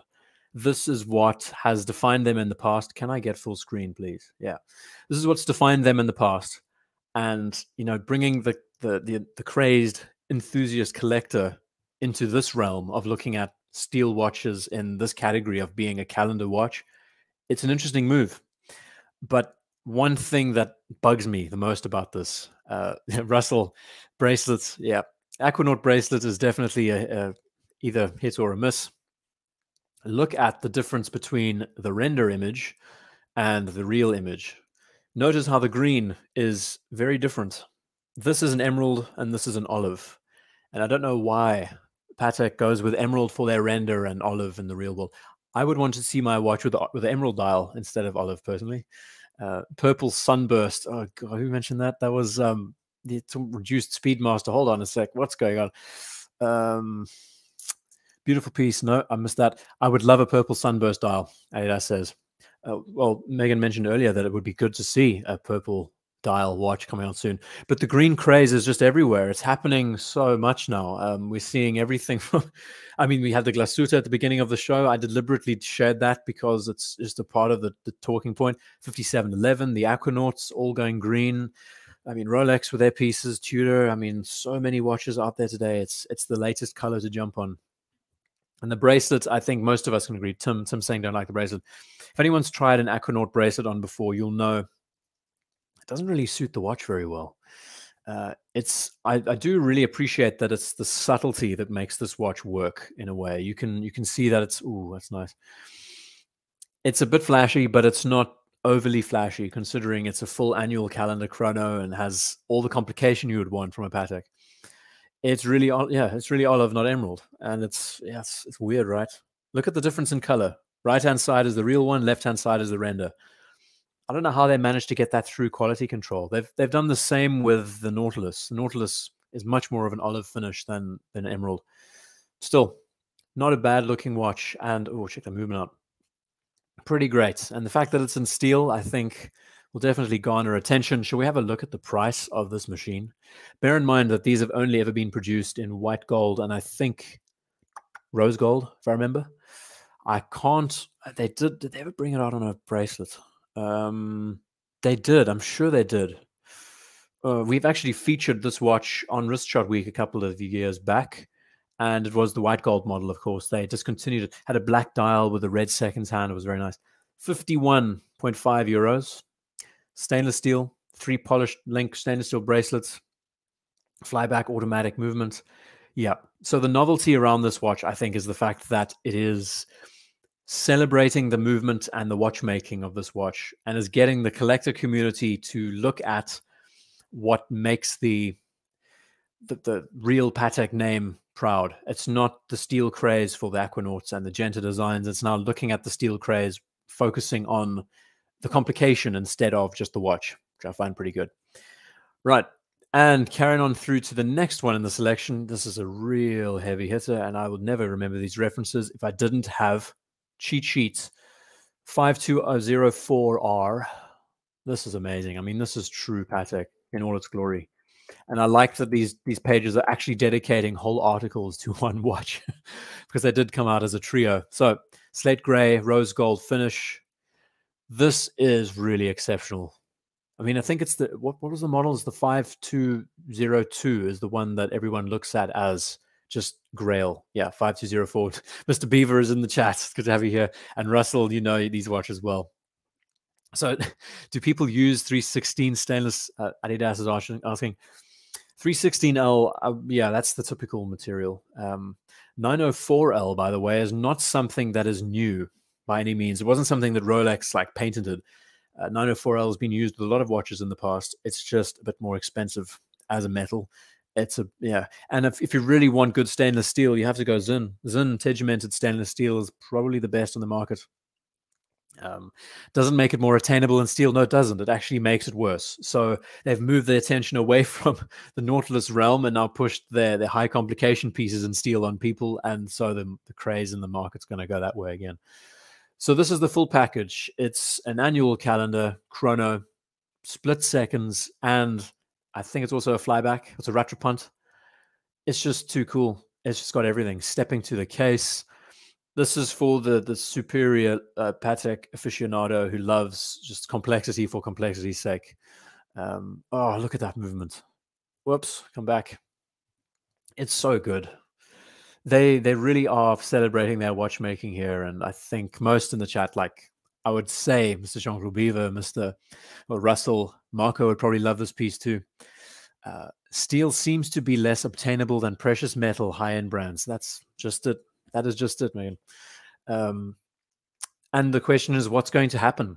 It's it is laughable to consider how steel prices are still climbing, climbing, and the precious metal isn't looked at as much. Uh, and it's it's that debate on you know, where is this world going? What are we thinking? Why doesn't VC get enough love? Adidas says we're talking about their overseas because that's definitely gone out the window now. Everyone's going mad for them. I think VC has, you know, in this kind of ballpark with models like, you know, their traditionals, they do some good stuff. It's just not not an area that people have really expanded in and looked at more. Um, would love it more if it was automatic. Just, I mean, yeah, that's what you. An automatic perpetual is something that I think a lot of us would probably like. Realistically, if you're wearing this every day, I don't know. Maybe it's just because we're lazy. You want to appreciate winding the watch, but at the same time, yeah, it's just it's a good piece. It's just so so good. There are many other pieces out there though. I mean, I don't know if this is the the quintessential like the grail grail of Patek watches. I'm not that well attuned. Um, Rolex don't show their backs. They don't. If stainless steel is worth more with its weight in gold, why can't I sell my pans for a few thousand? right? Yeah, I know. I know. Beautiful looking watch, super high complicated, and I thought well worth looking at. Yeah, appreciate the wind. Uh, the one. Also, a good thing to mention here is that they do not skimp on the size of their crowns. Isn't it nice that you have a huge crown to wind the watch with? Nothing worse than having a skinny little crown when it's a manual wind piece. Yeah. Also, something I've just noticed. I've got two images of the same up on the screen. On the left-hand side, these are actually loom-filled batons and hands. So this watch is much more legible. You can read it in the dark, and it modernizes the piece a bit. Normally, these would just be applied gold elements. There wouldn't be any, you know, luminescent material. It would be Romans or something added to it, maybe. Good to see that this is a bit more of a modern direction. Then contrasted with the stepped lugs, which is like so, so old school. Yeah. Okay, I'm going to move on next. And this one is probably has been the least uh, accepted. I think a lot of us have been scratching our heads with this one. Of, of the three, I don't know. This one doesn't really fit in the category. And let's get to an article. Monochrome just keeps doing it again. So this is a platinum, platinum world time chrono. Let me try and get so it's hold on full thing. Platinum world time chronograph. I think it's it's not a split, no. But I mean, also just insane complication that it's using. Realistically, it's got it's got everything and more. Uh, do we have any live images of this watch? Well, we do have a movement. It's automatic, so that's something you can enjoy. Uh, so Megan says that uh, VC is not in the same league way down the ladder. Sorry, not sorry. yeah, as far as I just don't think they get the attention because maybe people just don't appreciate the aesthetics as much. Um, it's funny how the overseas has caught on. It's taken some time, but it definitely has caught on. The traditional series, the the way they do their tribute pieces to like 1956, the 1921 Historique Americaine, all of those models are just so grand. As for this model, though, head scratcher for a lot of us, I think. The world time's a great complication. Would you want a chronograph with your world time? That's the question. I ask someone like Russell in the chat, would you want a, a world time chrono? Since you own both separately, would you want one as one piece? It is amazing to think that they've just double stacked these modules that you push this button on the side to adjust where you are in the world and then you have the two buttons on the right to set the chrono and let it run. Looks like it's a 30 second, 30 minute chrono counter, so nothing too insane, but yeah, VC isn't consistent. Yeah, Justin, I like that point very much. I like that point very, very much. Yes, as far as the world time goes, what else? 39 mil. I mean, that's a that's a crazy small diameter for a watch like this. 39 and a half mils. I mean, it'd be so difficult to read. Just in general, telling the time, reading all the plots bottle green they're calling it pity they don't have any real like live live images to look at maybe this this looks pretty legit though yeah i mean i think they got this color right if this is an authentic image i i do prefer that color but this now reminds me of of snake skin in a way you know lizard skin which is not the kind of thing you really want on your watch dial i don't know alien yeah i'd agree to that al uh, yeah, let's carry on in the chat if I can catch you. Let's see if I can. Abdul is leaving us. I mean, most of you, most of you guys, it's like what quarter to one in the UK. Wherever you are in the world, it's probably getting the time is marching on quite a bit. So, uh, thank you all for joining in. As always, say, does look like snakeskin in the flesh, Russell. God, that's funny. That is so funny. And do you want a snakeskin? I mean, that's that ages the watch immediately, don't you think? White looks fine because it's not so in your face, but I think the green just uh, it's a little bit much. Okay, let's move on next.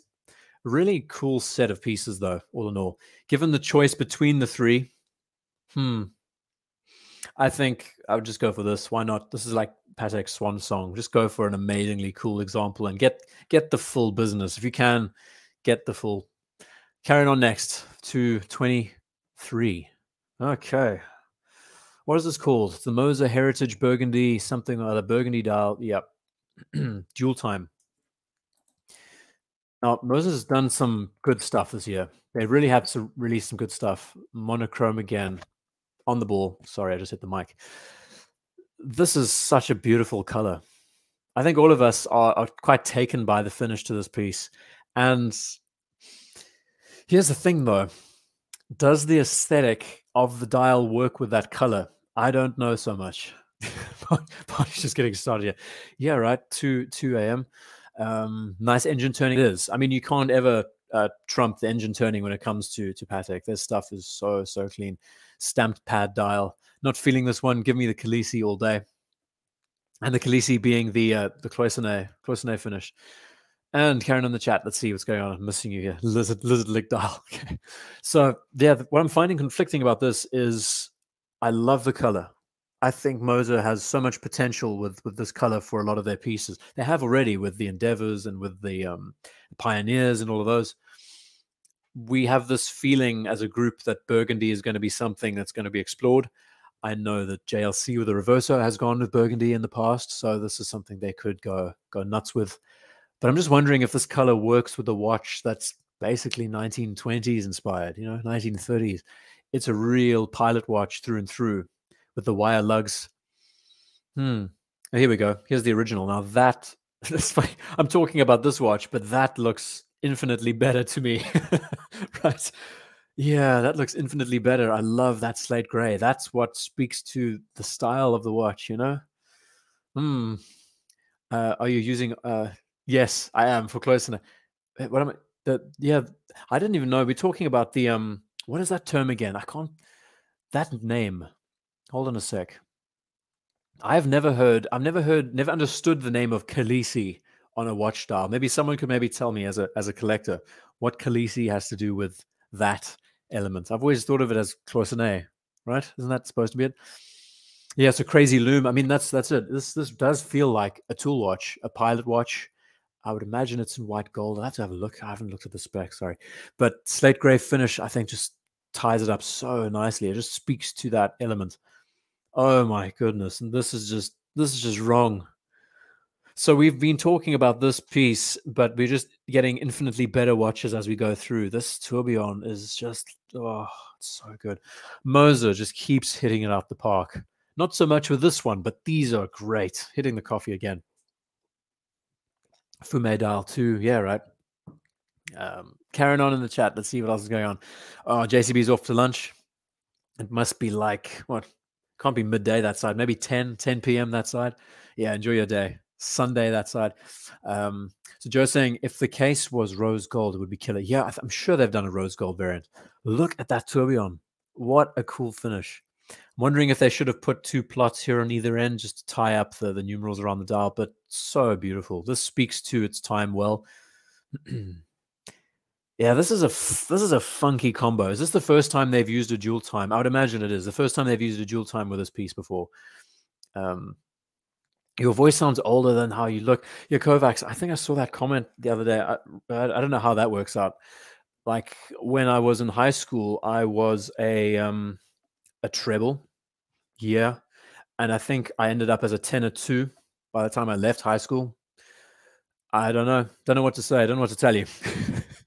uh, you know, it's it's good to have range, and I think you, you can. You know, it's all down to register and being able to speak really deep if you have to, and then you can raise it up and adjust and moderate. Um, you puberty affects us differently, I guess. For me, it's cool. Longines, big eyes, beauty. Yep, gotta love it.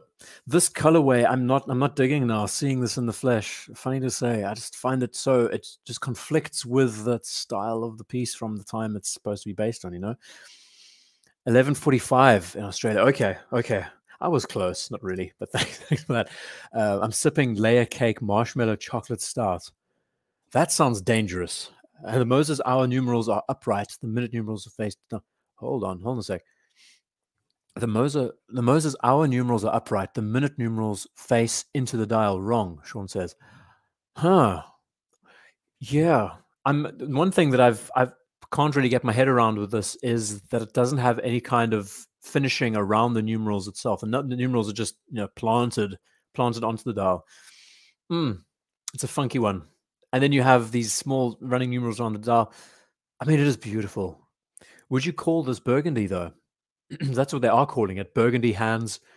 This feels more like red grape, you know, red wine. Layer cake, marshmallow, chocolate stout, chili badger. What? How is that even a thing? I mean, I'm going to be getting a, a, whiskey soon that has supposedly has like Christmas cake notes to it, which is going to, it sounds great, but I don't know. Yeah, upscale Shinola. Oh, that's that's a kick. That's a kick, right, right low. And I also really dig what they do here with the way they finish the the sides of the case. Uh, it's just beautiful. Yeah, I must say, I've never really been a fan of how they finish off this piece. Isn't it bad? Like the closer you look to them, you kind of like start scratching your head. That slate gray dial is beautiful. I don't know so much about this. This feels a little bit jarring, and everything that Moser does is beautiful. So it's not it's not for everyone, but I think yeah, it's worth looking at. Uh, these these pilot style pieces are pretty great. The photography is just so good. It's amazing the colorway. I just can't get over it. The movement's beautifully done. Moser is just in their own little echelon, and they keep on just bringing winners day by day. Uh, it appears more maroon in these picks, not burgundy. Yeah, right. I'm having a closer look. I don't know. I'm getting this this grape kind of feel, but I, I don't know. Could be wrong. No, grape is much more purple, maroonish, burgundy. Who knows? I think it's a beautiful, another beautiful Moser. I mean, as collectors go, I mean, you can't not love these watches. Adding these pieces to a collection. I'm wondering what they did with this hand. If it's like some kind of coating they finished it with, I don't know. We could be at this for days. But this is just, you know, what's also taking my attention away is that they haven't actually applied the Moser name to the dial. It's just a small, a subtle engraving underneath. Where here we have the name there, which is so much. Oh god, this is so good. Okay, ladies and gents, let's have a vote. Which would you rather have? L for left, R for right. I'll start. I'll start this one going. R for right, L for left. Which would you choose? It's difficult. If some of you out there who maybe are difficult, uh, struggle with your left and rights like I do, uh, Chili Badger would go left. Let's see what the rank what the ranking is. If you had if you had either, either option, just to choose one, which would you go for? Must say that slate gray. Oh, it's so good. Um, let's see, lots of R's. Uh, looks of things. R from Truman. Uh, the grey or blue dials are classic for Moser Heritage. I feel the green, crimson, strong. Thanks for that, Thomas. Yeah, isn't it funny? It pushes it pushes that burgundy finish into a different genre almost, a completely different category of it. Burgundy. So we have more L's. Huh. Both. Easy enough to say both. Yeah. X. I mean, that's useful. So it is quite divided. I think we all have our own taste. Another question is, I mean, this is a good one to ask you're getting a Moser. This maybe is your only Moser in your collection. What would you rather have? A very basic looking piece that would blend into the background. It could easily just be a pilot watch. Uh, but then you have something like this that's exuberant, that stands out, that says Moser, your military left. Yeah, thanks, lefties. I thought it was just me. Yeah, I must say, uh, we're talking about left and right. Yeah, yeah, I'm not the best with it. Carrying on through to the next. No, okay, let's have a look at this little thing. I, I know this is not this is not everyone's cup of tea. I did a video of this watch. It's definitely been one that's stuck in my in my mind over the last, and that's just it. That's just it. Something colored. I think that'll always win the day out, especially when you're getting into Moser territory. Okay, so yeah, the, the MR01 had quite the quite the flash sale when it came out uh, Pirate's Choice are. Funny thing about uh, Pirate, but this is like super tangent, by the way, Forbin. Um, I don't know how, I don't know if you know this, but how the Pirates, you know, turn of phrase became a thing was because of Treasure Island, actually. Um, the Disney film they made in the 50s, and the actor who played Long John Silver was actually a um, actor for lots of Shakespeare stuff. And if if you're going true historic Shakespeare, you speak with more of an R, more of like a, a rolling accent. If you want to get the the real true way they spoke back then. Anyway, he used some of that Shakespeare influence into his portrayal as a pirate, and because of his expression and his action of speaking that way, so that became the, the general, you know, way that people speak in the Robert Newton. Yeah, that's him. That's him talk like a pirate day. Oh my god. Okay, carrying on. So that's weird, like super weird trivia we just went down. I guess the coffee's obviously working now. Salmon dial finish. I, I, guess it is cliche that they introduced it. They're referring to the the Calatrava 96 for this. Charles Laughton. I'm going to look up his name. Hold on a sec. Let me just get this on full screen as I uh, hold on. Get this shot up. Yeah, so there have been lots of critiques, but I think I think the pros outweigh the cons on this piece. Uh, let's see if I can find his name quickly. Uh, 1950, right? That was it. And his name was Robert Newton. Yep. Long John Silver. Yep. That's it. St stage R.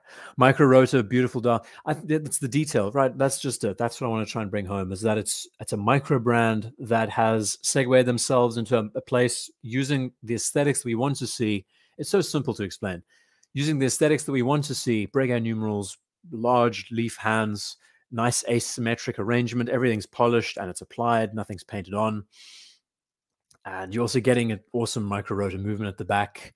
Uh, the size is decent. It's not too small, not too big.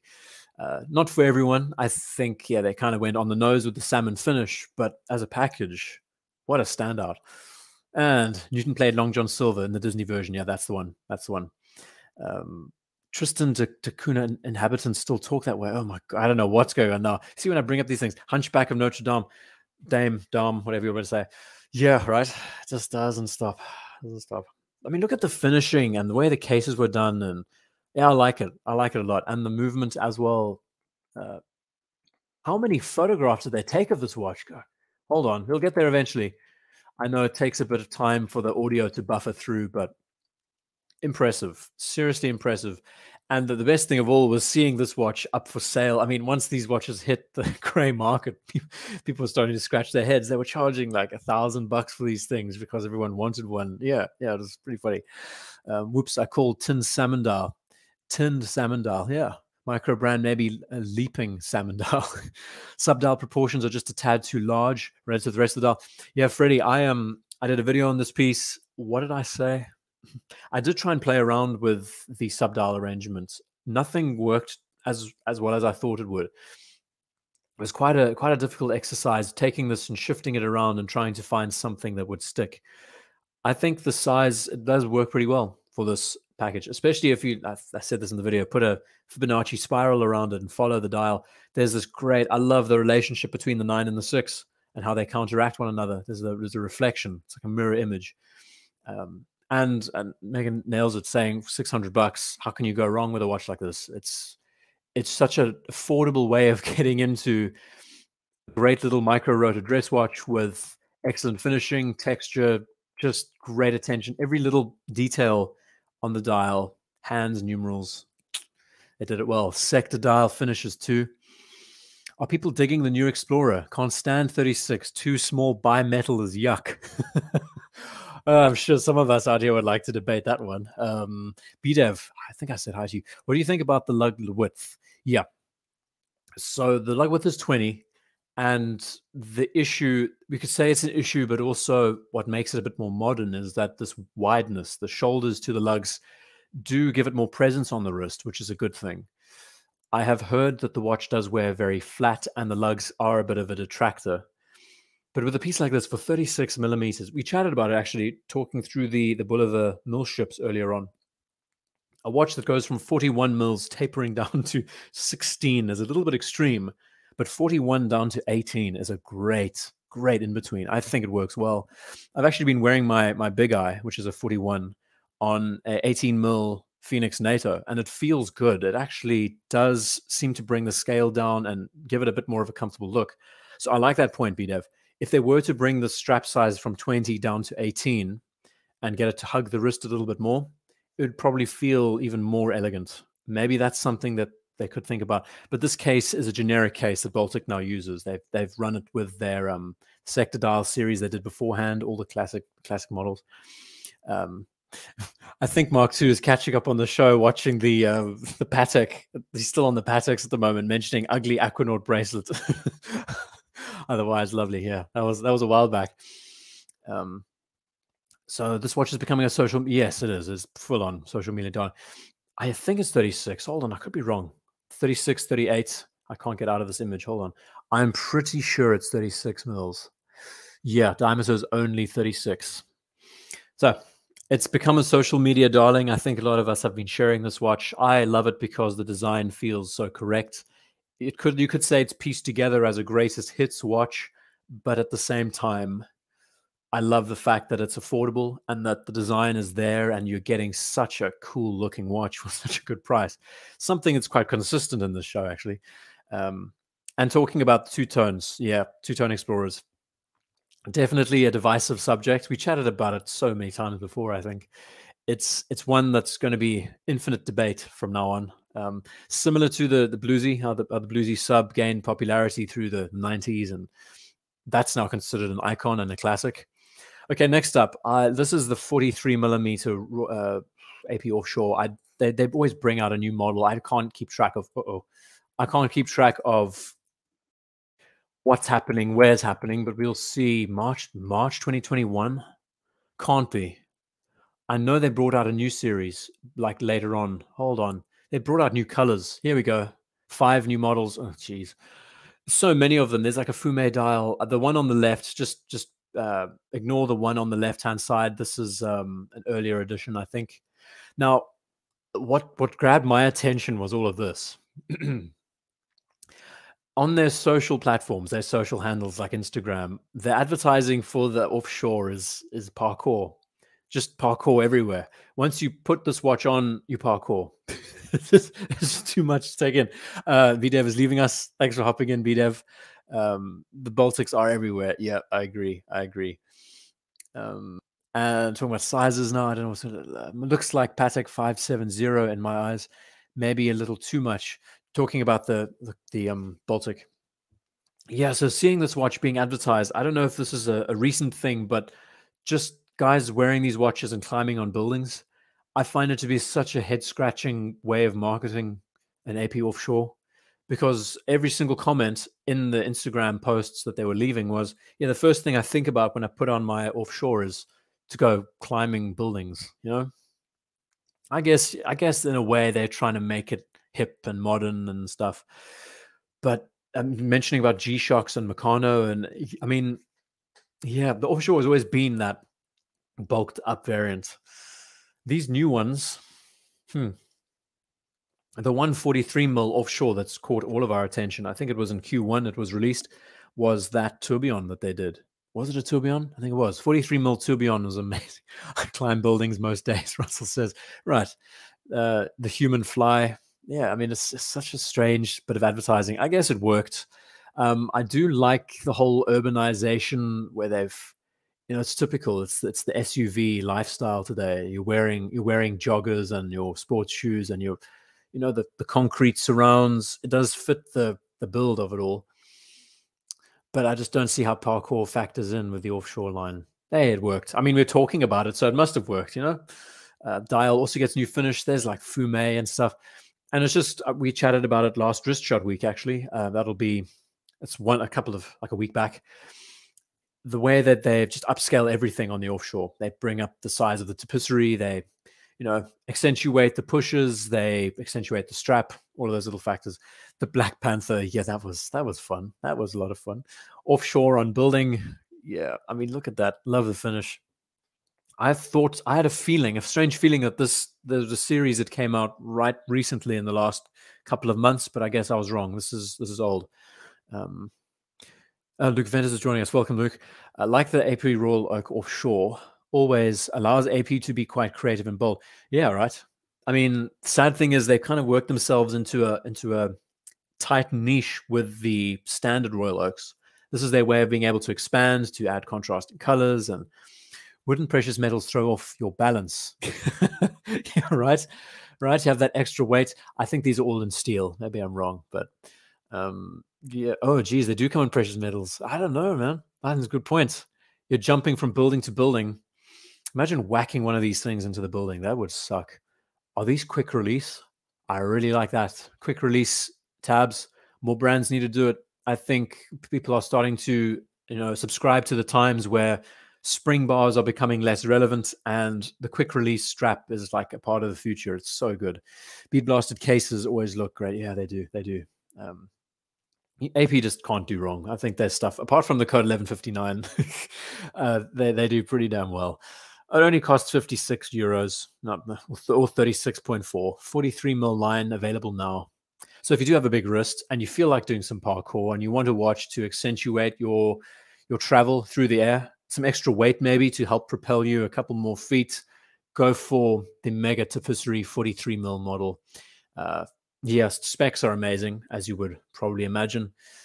Titanium looks like quite a bargain. Oh my, how is that steel is more expensive than titanium? Are you seeing this? 37 for the steel, 36 for titanium. Huh. Anyone out there who wants a lightweight watch in this category, that's that's something to to note. Uh, okay, carrying on in the chat. I'll leave this on the screen for a sec while I get to you all. Can appreciate the movement. Yeah, I just don't get the parkour thing. It's just weird. Uh, let's see. Russell mentioned something that I missed. Uh, double wrist. Uh, would love the uh, thing. I've missed. I have seen a lot of these already. AP Marvel background. It's just nice. This time of the night, the chat quietens down a bit, so I'm able to just like collect what's going on. It's a little bit easier. Uh, many you can't fit third-party straps when you do the strap. Oh, difficult to change. Okay, steel has a huge. I just don't get that. Steel is a huge demand. The offshore as a watch is pretty damn heavy. I'm sure most of us would know that. So being able to see it in titanium brings the weight down, makes it a bit more wieldy because it is 43 mils. It's quite a monster. Probably wear like a 45 on the wrist. Why not go titanium and save yourself money? I don't know, man. The steel, the steel craze is ridiculous. And I mean, trust me, once we start seeing, if we see the Yachtmaster released in titanium, titanium prices and demand for titanium watches is going to start climbing too. So it's just, what do we do? Jungle swinging vine to vine. I thought Omega Planet Ocean and Sea Dweller were big until I saw IWC. Oh yeah, they, they get they're much bigger. Talk about Panerais. Yep, Adidas 76 Panerais will make you swallow your words for sure. I love the design of this watch. I won't be able to remember the name. We have five watches to go. And yeah, it's been a pretty good chat. Like as always, these have been very down to earth. Uh, not anything too. Hold on a sec. This is it, right? I think this is it. Maybe not. Uh, it is. It is. It is. I like these a bit. So you notice we've gone to Zodiac twice today in this presentation. We started with the the world time, and now we've jumped to a topper. I believe it's a topper edition series. And these designs look excellent. Um, if I can find some good shots, look at the texture on it. Yeah, I'm going to try and catch up with the chat. I, I was on a train of thought and I missed it. I was talking about the size of watches. Yeah, they get worse and worse. Dial design of the Zodiac's nice. I'm impressed. We chatted about that uh, Cory Richards Vacheron Overseas Titanium. This, to me, that orange accent, the text. I mean, how can you not love that Super Seawolf text? It's so good. Um, also enjoy that they've negative negative the numerals around it, so it's not too much in your face. There's texture to it too. Yeah, I think lots of people are jumping on the, the Zodiac bandwagon, or jumping on the Zodiac. If anyone is uh, from the Navy and likes likes those vehicles, taking a hit from I haven't had much of the Balvenie. It's a tiny drop, and there's still quite a bit left. Bonetto Cinturini strap, Eric. That's a mouthful. Is that what these are called? Really cool. I mean, I, I like it's. It all makes sense. This is all structural integrity. This ribbing is there to just add more emphasis and to support the holes. Wouldn't have thought of said that out loud. Support the holes. So what we have, uh, there, there's a couple of pieces. They have a, a, a, broad series of different hands. I don't know so much about these hands. Um, phallic, very every single every single one of these hands. That's not that's not a good thing to have on your watch. Uh yeah, spade style is what you could say spade. Mention of syringe carry forward. I, I they look a bit a bit mm, a bit mm. yeah, I don't know. I, I think I like the way that Zodiac keeps these because they line up with the court as well. Maybe if they square these off a little bit more, they wouldn't look too vast difference, if you know what I mean. Right, so carrying on through. This is a great combo. I do really appreciate this. It's such a nice finish. Isn't it great when you see this kind of texture on a watch and it's all highlighted and pictured? Hmm, that's the one. That's the one. Looking forward to my vintage Jack Daniels Makers Edition 43 proof. Oh, that's great. That is great. Blue Horizon. I don't know what's going on in the chat, but it's good. I mean, we, this is what happens at the three hour mark. We start losing our heads a bit. Didn't catch what you were drinking earlier. Yeah, Balvenie, Balvenie 12. Um, my critique on it is that it should be a 43 or a 46. The 40% is super, super light. For a sherry cask finish, you want that staying power. I think it loses that a bit as a 40. Still, also, it's it's so light and easy to drink though. So uh, I can understand why people go through these bottles so fast. It really really easy uh, to go through. Uh, I see more, but yeah, right. I mean, to each to each our own interpretations. This this to me is, yeah. I think I recognize this from Seiko's. I'm pretty sure Seiko Marine Masters have a similar aesthetic to this. Uh, yeah. They're trying to match the quarter elements too. I don't even understand this. I'm going to actually get the images up and we can chat about the series. Let's get out of this and look at what's going on here. The reference Seawolf 53. Yep. Um, I mean, we, we all know the significance of the Seawolf by now, right? One of the first dive watches, like of its time, uh, 40 millimeters wide, DLC coated, Italian rubber straps. I like that quite a bit. And I, and as as Eric mentioned, what is it called? Cordoni. Uh, I'm not even going to try, but rounded. I'm going to get into the chat now in a moment. Bracelet version of the new Zodiac compression reference is that ceramic bezel insert. It's a it's a really superior looking watch. I love the colors. The hands. Now that I see it, I can't unsee it. It's like the Black Panther AP that we saw we saw the other day. Uh, yeah, looks good. Looks good. Oh no! Now we're spamming the ID Guns Instagram handle. Yeah, that's that's something else to let everyone know. Um, my my arms have a have an Instagram. Don't ask. Uh, but that was that was something.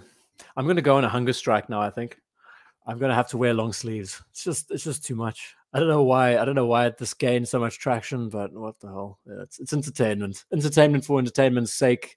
You can't deny. It's pretty damn funny. So Mark II says it founded St. Petersburg, 1828 by Heinrich Moser. Oh, he's he's on the Mosers at the moment, so he's he's still lagging behind a little bit.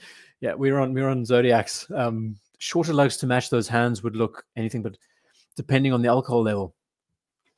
I think the one downside this watch has is that, that there's lots of talk about the lugs being quote unquote uninspired in a way. They're, they're super long and they don't really conform to the wrist as well. This was sort of true to the originals as well. I mean, the 35 mils, because they were so small, these are all 40 mils, so they do feel bigger, but the 35 mils, um, it worked for those pieces because uh, no, that it was all relative, and the size worked out nicely. It's owned by Fossil. Yeah, thanks, Adidas, for that. Um, if you if those are called syringe hands, don't want to be injected. Yeah, I think the whole point that the, the syringe aspect, syringe. What am I saying? Nice sketching on the table. I can't get out of this image. I love that. That's such a clean, clean look. And the, the whole idea of like the hollowed out seconds, it looks great.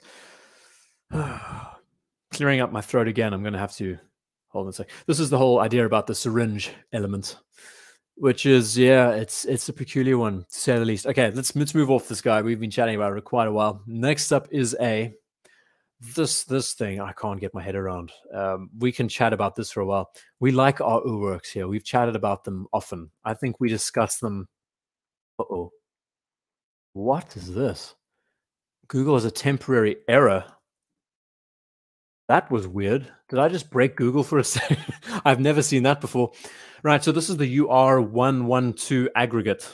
And I was meaning to sit down and read through what makes this watch so specific. They have a new movement that they've incorporated in it. It's 250 grand. Just put that aside. Uh, it's so unlike the Urwerks that we know and that we see so often and the comparisons we've chatted about it could look like a desk clock you know with the, the flipping what would you call it the flip over desk clock with the numerals that run around uh, it looks like a bicycle light in a way. It looks like an alarm clock a travel a travel alarm you know a taser. Uh, looks like a wind up i mean this wind up element looks like something you'd see on a camera. I just don't even know. You'd expect like leds in the front you know? It's a strange, strange design, but I mean, this is something that you can definitely assign to what Urwerk does with their pieces. This one, mm, I don't know. And the whole attachment system just looks like it was thrown on there. The beauty is that you open it up and you can appreciate the movement and all of that. Can't ever justify this. Uh, Megan says, "Yeah, I mean that's that's at the end of the day." I mean, look, it says push to. I swear that they got their inspiration by looking at bicycle lights. Guy was on his way to work one day and said, "You know what? I'm just going to take a bicycle light casing and put a movement inside it, and hey presto, we got it. We got it." Uh, reminds me of the, De- of the Devon Tread. That's a J. Yeah, Devon Tread was a big deal. They still they still make their watches, hey? Uh, Tomoso loves them. Yeah, they're funky ones. They got that whole belt-driven system. Yeah, maybe that was a part of the inspiration too. Very good point there. Looks like Predator Watch device from 1987. I need to watch that film again. Is there was there a similar one of those? I'm interested in that. Uh, very space tech. Yeah, that's a watch. Would alert airport security. It would. Actually, you know what else? This is an ankle bracelet. This could be something you'd be wearing if you're under house arrest. So the the memes just keep on coming with this piece. Like you know, this is my, this is my ankle bracelet that I wear. You open this up and you can see the power reserve and that's guessing that's the date, maybe. I don't know, probably, probably the date. Nuclear detector, yeah, right. I'm thinking ankle bracelet now. The more I see it, we just need some glowing LEDs on it to tell you that you're in the in the green or in the red. Looks like old school beeper on the watch band. Yeah, I mean, this is the thing. Um, titanium. I mean, here we go again with the titanium bandwagon. Uh, all in all, though, yeah, just strange. Just a strange, strange model worth looking at because it's quite head scratching when we think of Urwerk as a brand and what they do normally with you know the the the one the one ten and that typical arrangement of how the, the hours work with the, the numerals and the sides. Here's the internals. Why is there so much dust? I my critique. This is a 5K screen. We're looking at it through, so we, we're picking up all, all the dust on the workbench. Sorry, is this monochrome? Sorry, monochrome for critiquing, but uh, yeah, time to bring it's it's winter winter dusting time in the in the office. Hmm, what a strange one. Yep, I'll keep on new Bond watch. Right, right. Beam me up. I mean, where do we start? Has a quartz? What? It really is quartz. Dirty. Yeah, right. I'm not going to say it. Yep, that's it. Roll the target. Mm-hmm. Oh man, it's great. What a weird one. Next up, what else do we have? Uh, okay, let's chat about this machine. Now, our man, our man Russell. I don't know if he's still with us in the chat, but he's been trying to register because he loves his Zeitwerks. He loves his Langes. He's been trying to register with one of these pieces, and it seems like they've all been assigned already. Yeah, now we're talking. Yeah, let's chat about this for a sec. Isn't it? I mean, look at that. So on the left we have the render, on the right we have the real image. This is so much nicer. This looks this looks rose gold on the oh hit the mic. This looks rose gold on the left, don't you think? So what makes this special? It's honey gold. Honey gold is like the latest just catchphrase that Lange uses with their pieces. If they're special, if they're limited editions, the original Zeitwerk was introduced in platinum, the, the Lumen, sorry, the, the Zeitwerk Lumen. We featured it about a hundred times on this on the live shows in the past. Ankle bracelet, yeah, yeah. Um, so we featured the Zeitwerk. I feel so privileged to say that we've been able to feature the Zeitwerk Lumen on live shows and see it operating and glowing in the dark and Zeitwerk is the most technically complicated watch that that Lange makes. It's amazing. This being a honey gold finish, it's just another one of those echelons you move up. Even though platinum is even more rare and attractive, you know, honey gold is pretty good, uh, all things considered. And I think that's about it. Like they haven't changed anything apart from just a different case material. Uh, oh, cool! They're going to be covering it. So he was the original Lumen Platinum.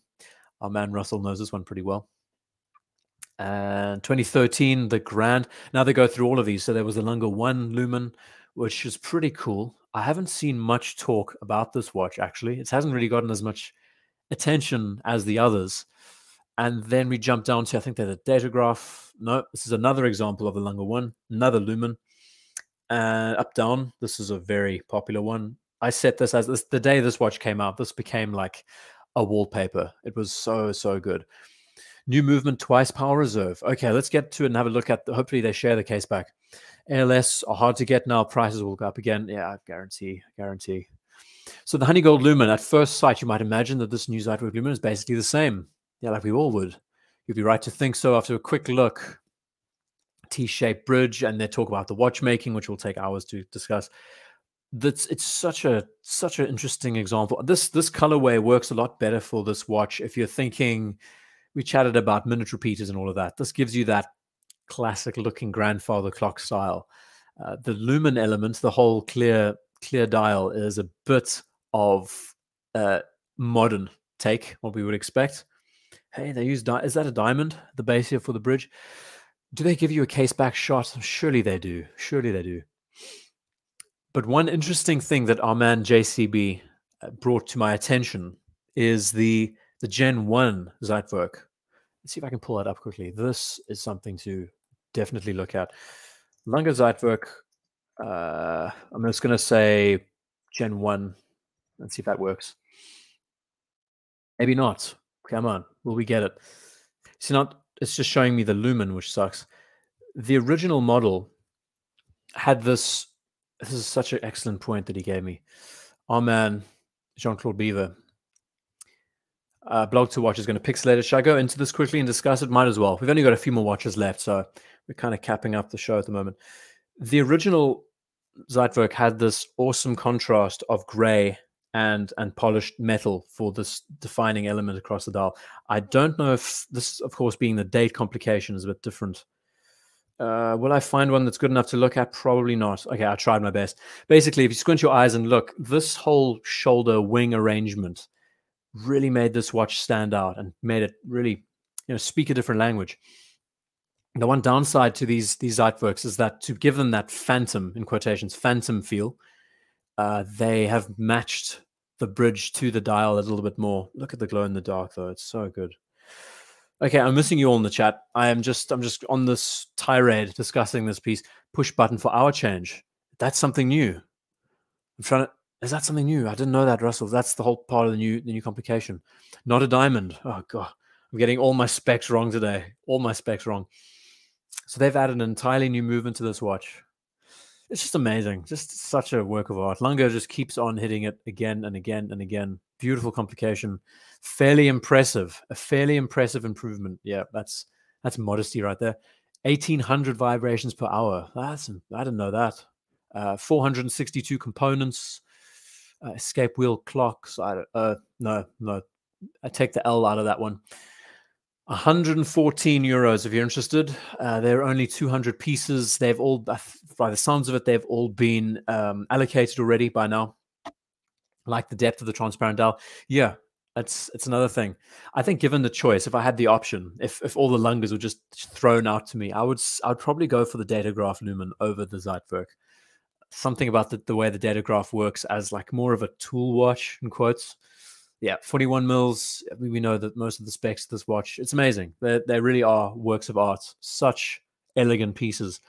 114, if you're interested, 200 pieces, honey gold, which makes it a lot more collectible because of its you know, significance as a metal. It's, it's uh, proprietary in-house. 110 pounds, 110k price, price very high. Yeah, time flies, sure does. What else do we have? Another GP. Why did I choose this one again? I don't know why I chose this one. I think this was more of a critique element. This is the last. The last two watches are both green dials. Uh, Laureato again. I can't believe I chose. I bet you I sat. This was. I was probably doing this at like you know three in the morning, putting these together, because we have had three Laureatos on the show. Hmm. Now, that could also explain why it hasn't been such an exciting quarter for releases. All we have really been seeing are different colors. Yeah, this is the Aston Martin piece. Uh, it's, it's a bit of a funky one. Now, at first glance, uh, let's see if I can get a close up on the dial. Aston Martin's colorway, beautiful, beautiful emerald green. This is an actual like emerald green that we can enjoy. Kind of like a, what would we say? Porsche Glacier Blau kind of tropical uh, seafoam green. Is that what we're going to call it? But then it has this bizarre looking texture to the dial, and that's supposed to mimic the stitching of the seats inside uh, the Aston Martin cars in general, like the DB9s and all of those. I don't know. I don't know so much. I think this turned out to be a, more of a critique on the watch than than anything. After looking at that sapphire case that we did, and and the titanium model, this is a little bit excessive. uh, it could see, yeah, I couldn't see the, the Riddler wearing this watch for sure, for sure. Just a huge question mark. Take the GP away, put a question mark at the top of the dial. It's the Riddler edition, you know. The color is beautiful, and I think that should not be forest green. Good point. Very good point. That's exactly it. I think that's that's exact. I'm I'm looking at it through a lens, obviously. Um, the whole whole idea of this green being such a a vibrant emerald color instead of the typical um, you know, olive drab that we see so often. This is a good change. It's just the texture. And funny enough, the last watch that we're going to have a look at is also an emerald green, probably one of the most beautiful AP watches that have been brought out to date. Yeah, not a bad example. That partnership is a bit weird. I think GP did a better job with their three bridges. The whole Aston Martin three bridge partnership that they did there was nice. Uh, anything else I'm missing in the chat? I don't know. I like the watch overall, but not the the uh, the, the texture. Roar of the Tiger, you're not the only one. Yeah, it's weird. The, the dial, actually, the chronograph dial looks pretty generic. Isn't that weird to say? I do love one thing I love about the, the whole case. We said this earlier about the um the titanium, the way that the the, the top of the the bezel integrates so nicely around there. It's really clean. I love it. Tied in so nicely. Yeah, all in all, not a bad looking piece. Nice presentation. Emerald is a seasonal color. I mean, I like that point. It's just that texture to the dial, which is a bit hit or miss. Seat stitching. Hmm. I mean, and one one critique I had was instead of having this stitch having continual diamonds running across the dial, think of it instead of your typical tapisserie where it's a square, where it's where it's a square. Uh, have have more longer vertical lines like they're doing here, but repeat that along the entire way. Don't crisscross the lines through the middle and stuff and make it look a bit jarring. It just breaks it up a bit too much. But I don't know. That's just me. That's just probably personal preference. Uh, the watch is standard. They only change the dial. Yeah, I can understand that. And last but not least, another watch that they only changed the dial. I thought this one would be well worth sharing just as the show comes to an end. The last, the last addition to the discussion, and it's the the Emerald Royal Oak Emerald is just one of those pieces I find great. If I can find an image of this, uh, let's see, Time and Tide. Yeah, been an interesting discussion. I must say. Please tell me that there's some live images. No, I don't want the renders. Monochrome. Hold on a second the last watch of the show, I really like this piece. Uh, come on, monochrome, always there to take it home for us. The strap and the dial pattern, yeah, it's a bit conflicting to say the least.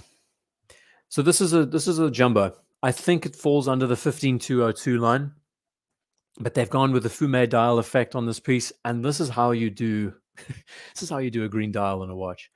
Uh, I like the simplicity to this piece and appreciate that it's it's not going the typical tapisserie route. It's actually thinking of a more flat presence. It keeps it simple and basic. And I think it's to this watch's favor. I don't know when this watch came out. I think it was around September. I'll have to double check. But such a beautiful example. It epitomizes the Royal Oak a lot.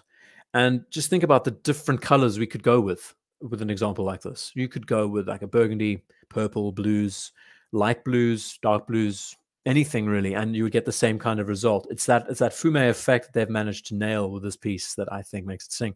And Russell, I've been trying my looks like a dial. I've been trying my best to get Russell on board with looking at APs. He still hasn't um, he still hasn't jumped ship yet, but I I feel like we're going to influence him to look at one of these. Once you get one of these on your wrist, I think you'll be sold, Russell. Just saying, just saying. So this was a GPHG winner. I did not know that. Diamond pattern is meant to be the reminiscent of the yeah the diamond pattern stitching on the leather. Yep, that's it, Mason. I chatted about earlier. Not to be the dead horse, but I think Enigma would, would look even better with an AP. Yeah, I would say as well. Um, yeah, that's that's the Riddler. One thing I want to know, I I've always actually wanted to question this: is this lumed in the middle here? Because that's such a cool feature. If it is, they've actually thrown some lume in between the AP on the dial just to break it up, and when it glows in the dark, there's something that stands out. I just whoa, that is funky. This is probably like a, ni- a late eighties, nineties transitional piece. I don't know what that's about. Maybe oh, hold on a sec. Maybe this was also a special edition with this kind of texture that they've. Okay, okay. I think I'm getting there. Great looking piece, just subtle, simple. A nice way to end off the show. We've tried to keep it design related throughout the presentation, and I think this also just caps off on an excellent piece of design. Um, this is an is amazing watch. So is the minute repeater. Yeah, the minute repeater is just on another level. I didn't feature that. That was also released over the course of the month, right? Platinum. Yeah, uh, it does look like a Loom reference. Yeah, right. I don't know. Uh, maybe I should read the article. make a difference. Yeah, this is probably I, honestly seeing the just the the repetition of the tapisserie dials everywhere today, and the blue everywhere. The blue dial sports watch this takes the Royal Oak into a different category altogether, I think. It feels a lot more appropriate for a watch like this, don't you think? Classic 70s fact now timeless design. Yeah, I mean this is super modern, but also super old school. It gives you that uh what's a 2001 Space Odyssey effect. Yeah. It sounds like everyone, I think everyone is now, yeah, Conjuring 3. Adidas. I hope it's not too late in the evening watching that. Uh yeah, we've had a we've had a good chat, everyone. This has been fun we've gone through. I mean, look at all these tabs open at the top. We've gone through quite a selection. As far as choosing one of the best of the series, it's pretty difficult. Maybe Q4 we can do like a highlight reel of some of the best best watches of the year releases wise. I don't know what we're going to see for Q4 as a close though. Realistically, I mean, what are they going to be bringing out around December time? I, I really don't know. Uh, but this was fun. I like I like the fact that it's a lot more mellow and it's a bit more interactive, and we're sharing what have been you know what's been released here and there, left, right, center. Russell, thank you, and ladies and gents, it's always a pleasure doing these shows. I hope that the little avatar on the left hand side wasn't too distracting. That might have gotten in the way as I was talking, but this uh, this emerald is just a cut above the rest. One of the most beautiful. The fact that it's platinum, I didn't even mention that. I should actually have a look at the specs a bit more if I can get out of this. Should we look at the price? I think most of these are probably sold by now, but I mean, it's so much to enjoy. And of course, these have been discontinued, right? So the 15202, this is the last of of this range. Now they've all jumped to the 41 mils and those examples, uh, 90, 90 Swiss, Swiss, Swiss francs, excluding taxes what can we say? 100 pieces produced in 2021. Yeah, love the green Royal Oak. One of my very few favorite greens. Very disappointed that Patek is olive and not emerald. It's it's bothersome actually. I know some of us probably feel the same that emerald is where it's at. That's like the luxury element. But if you are dealing with a steel watch, the same time I think uh, olive does have some some edge to it because it does give you a bit more of a an outdoor active feel. Yeah, but as always, ladies and gents, thank you for joining. And Russell, again, thanks for the super chat. I'm going to stop the screen sharing. I don't know how long we've been going for. Uh, stop screen. That worked, right? Show's been running now for, was that, three and a half hours? Yeah, it's insane. Uh, still have still have a tip. The Bulova Mil-Ship is a 60 mil lug Forstner NASA JB mesh adjust from 16. I love those. Those Forstner bands are great. Yeah, I know exactly the model you're talking about. Uh, the JB Champion model. And it's great to see those adjustable lug lengths that you can get. No, sorry, the adjustable uh, bracelet lengths that you can get given. Time does fly. It does fly. Edwin, thank you for hopping in, and so many more of you who've been in the chat who maybe haven't haven't been tuning in or, or chatting. Uh, it's it's great to have you. Like I love these shows just for the interaction and being able to share just a bizarre range of pieces. It's nice to look through micro brands, but also the big names and some of the outliers that definitely deserve a bit more love. Uh, but until next time, we're going to be doing Wrist Shot Week, I think, in two weeks' time again. So send your emails to me. It's in the description of this video. We like to catch up. And yeah, Wrist Shot Week's always a blast. I can't believe the year is almost finished. It's insane. November already. 2021 has disappeared. Yeah, Thomas, thank you. Uh, shout out to Blue Shirt uh, once again. Uh, th- throughout this show in the chat, I'll be sure to link this at the end of the show in the comments if you would like to go and support our man on the GoFundMe some more. Um, yeah, Anyway, ladies and gents, thank you as always. I'm going to hit the hay hard, I think, tonight. It's been one of those days. Uh, but take care of yourselves. Enjoy your Sunday, and I will catch you in the next one. Cheers for now.